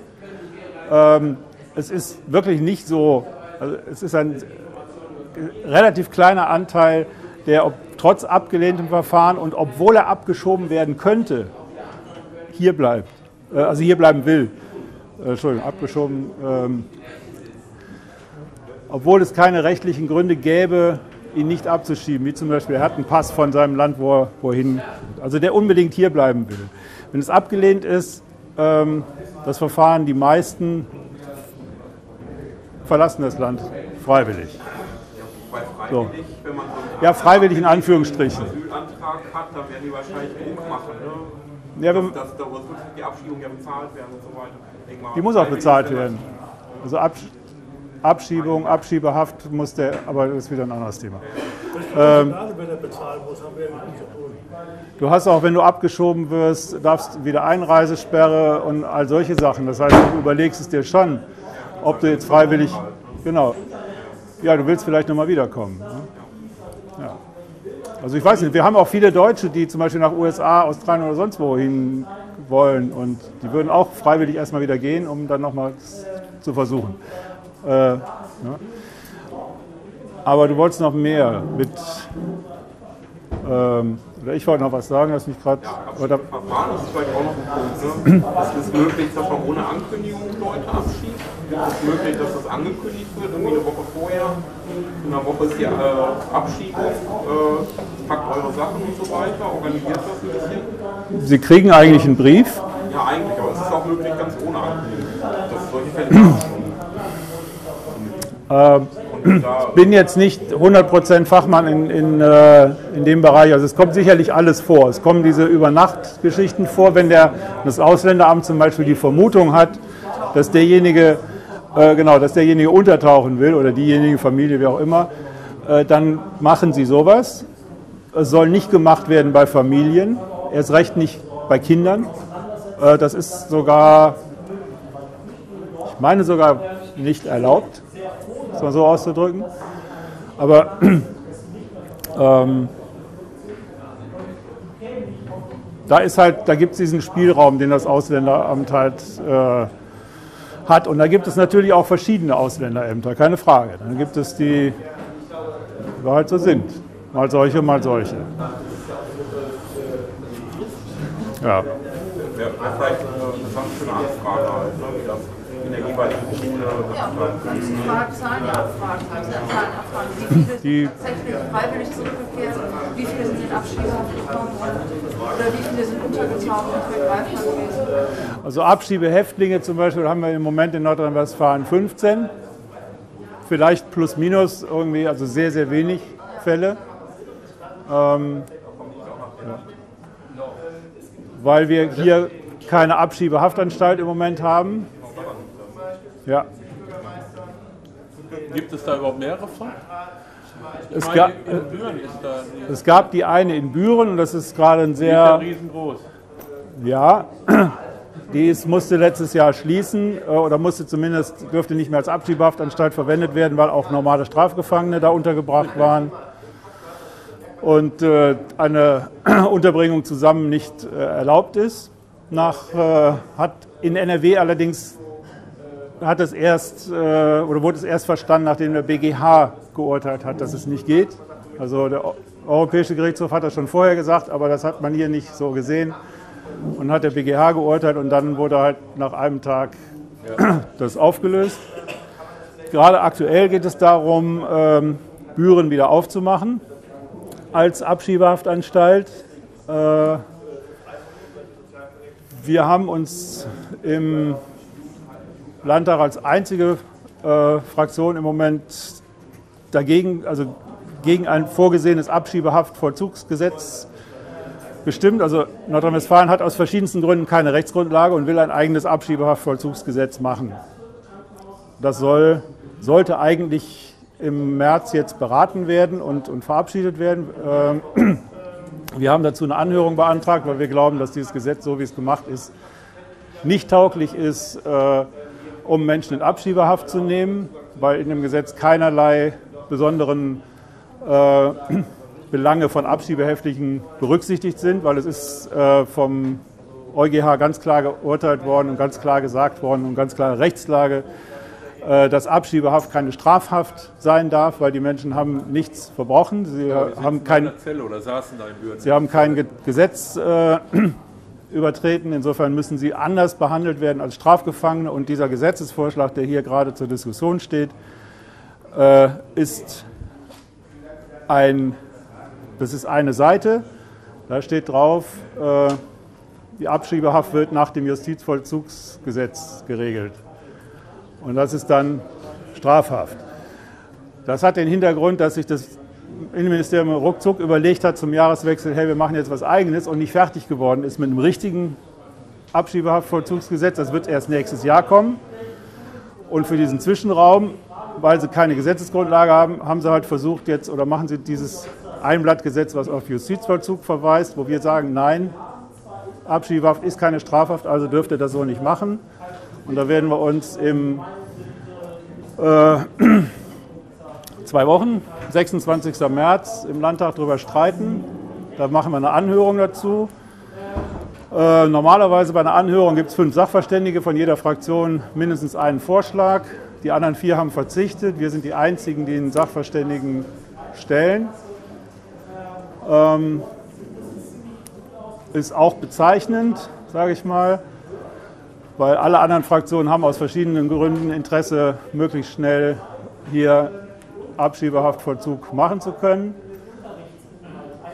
Ähm, ja, und wir werden dann das breit kommunizieren, wie unsere Haltung dazu ist, nämlich, dass wir, wenn wir eine Abschiebehaft, wir wollen sie eigentlich nicht als Piraten sowieso nicht, aber wenn, dann muss sie halt geregelt sein, dann müssen halt, äh, muss im Gesetz definiert sein, was Abschiebehaft bedeutet und was die Menschen für Rechte haben und so weiter und so fort. Und sonst geht es nicht. Äh, das wird eine heiße Diskussion, glaube ich.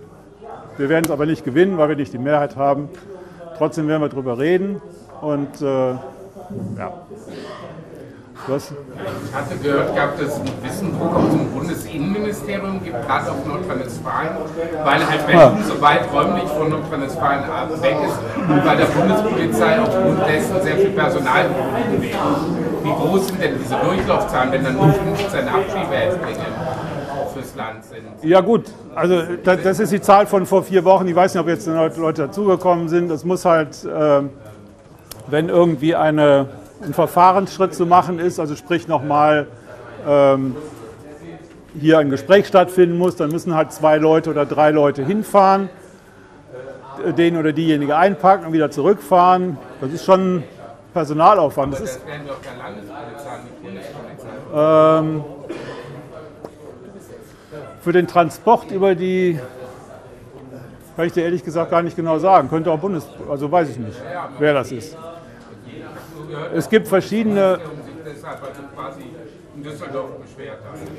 also also grundsätzlich ist das Thema Abschiebehaftvollzug und Abschiebehaftgefängnisse gerade auch deutschlandweit ein Thema, weil nicht mehr jedes Bundesland eine Abschiebehaftanstalt hat. Ähm,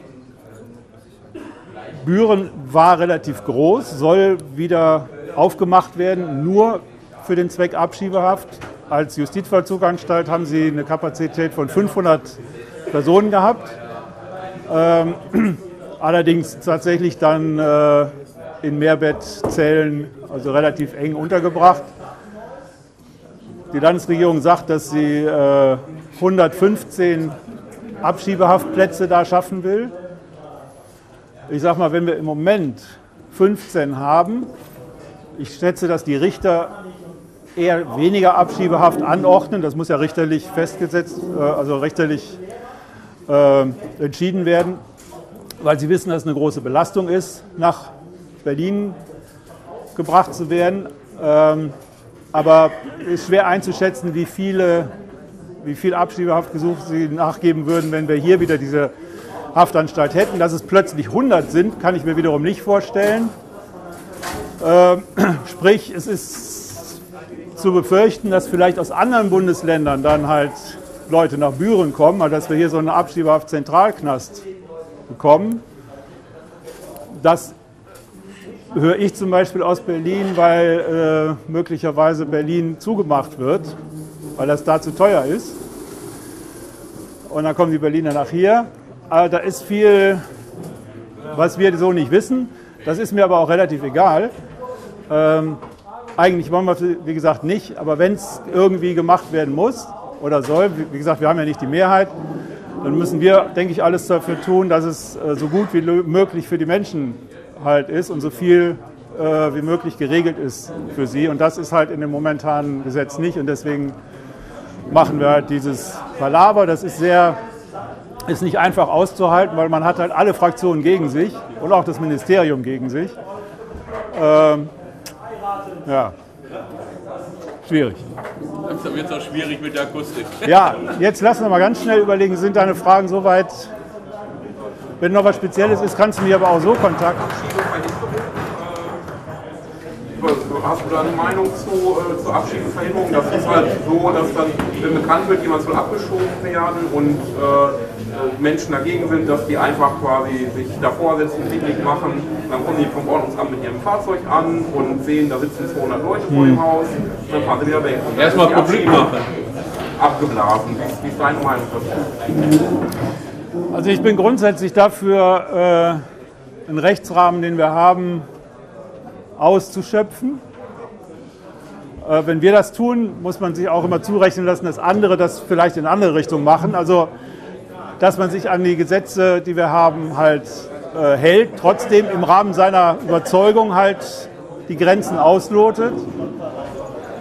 Ja, was soll ich jetzt mehr dazu sagen? Also wir haben ja schon einen Innenminister, der sagt zum Beispiel auch, dass äh, äh, Blockade von äh, einer Demo von Nazis okay ist. Finde ich cool. Ich weiß nicht, ob er das so gemeint hat, aber er hat es halt so gesagt äh, im Plenum. Ja, Und haben wir noch Minister wer ist noch? Ja. So, jetzt sind alle anderen total aufgeregt. Die haben jetzt gleich ein Riesenprogramm, was sie erzählen, was alles beschlossen wurde. Was haben wir denn beschlossen? Wir wollten Informationen haben, das war wichtig. Ja. Ja, okay. Habt ihr Informationen bekommen? Wisst ihr, wen ihr ansprecht? Ja, okay. Also wenn ich da meine Informationen bekomme, haue ich mich Arbeit Ja. durch. Vor allen Dingen, dass wir weiter auf dem Standpunkt sind, dass wir immer willkommen sind von uns aus. Egal wer es ist. Ja. Druck machen, mehr Ja. Kohle in die ist Äh, ja, es ist an der Stelle, muss ich tatsächlich auch weitergeben, es ist äh, Bundespolitik ähm, nicht, so, nicht zu freundlich zu sein zu den Menschen, was ein bisschen schade ist. Da hängen wir als Land dazwischen. Äh, also der Bund, der, der verschleudert Milliarden an Stellen, wo sie echt nicht notwendig sind und die wir hier sowohl im Land wie auch in der Kommune gebrauchen könnten. Ja, der Druck, der muss ja von der Innenministerkonferenz kommen. Äh, ja, das Geld kommt vom Bund zum Land, da bleibt wieder was hängen und dann kommt zur Kommune. Das heißt, das Land ist ja auch nicht eine Landeskommission. Ja, Ne? Also, da müssen wir mal. Hier steht dort Also wenn, wenn vom Land nur 20 Prozent oder 25 Prozent durchgesteuert an die Kommunen von dem Geld, was den Kommunen eigentlich zusteht, ja. dann läuft was falsch. Und ich sage nur, Und dann Bayern läuft Ja. ist bei 80 Prozent. und nirgendwo anders. Okay, dann würde ich an dieser Stelle mal äh, abbrechen, mich bedanken. Ich habe auch viel von euch äh, gelernt und gehört. Äh, ich finde klasse, wenn, also viel Engagement habe ich mitgekriegt. Finde ich super, danke dafür. Und äh, ja, wir machen weiter und an der Vernetzung arbeiten wir auf jeden Fall. Also, danke.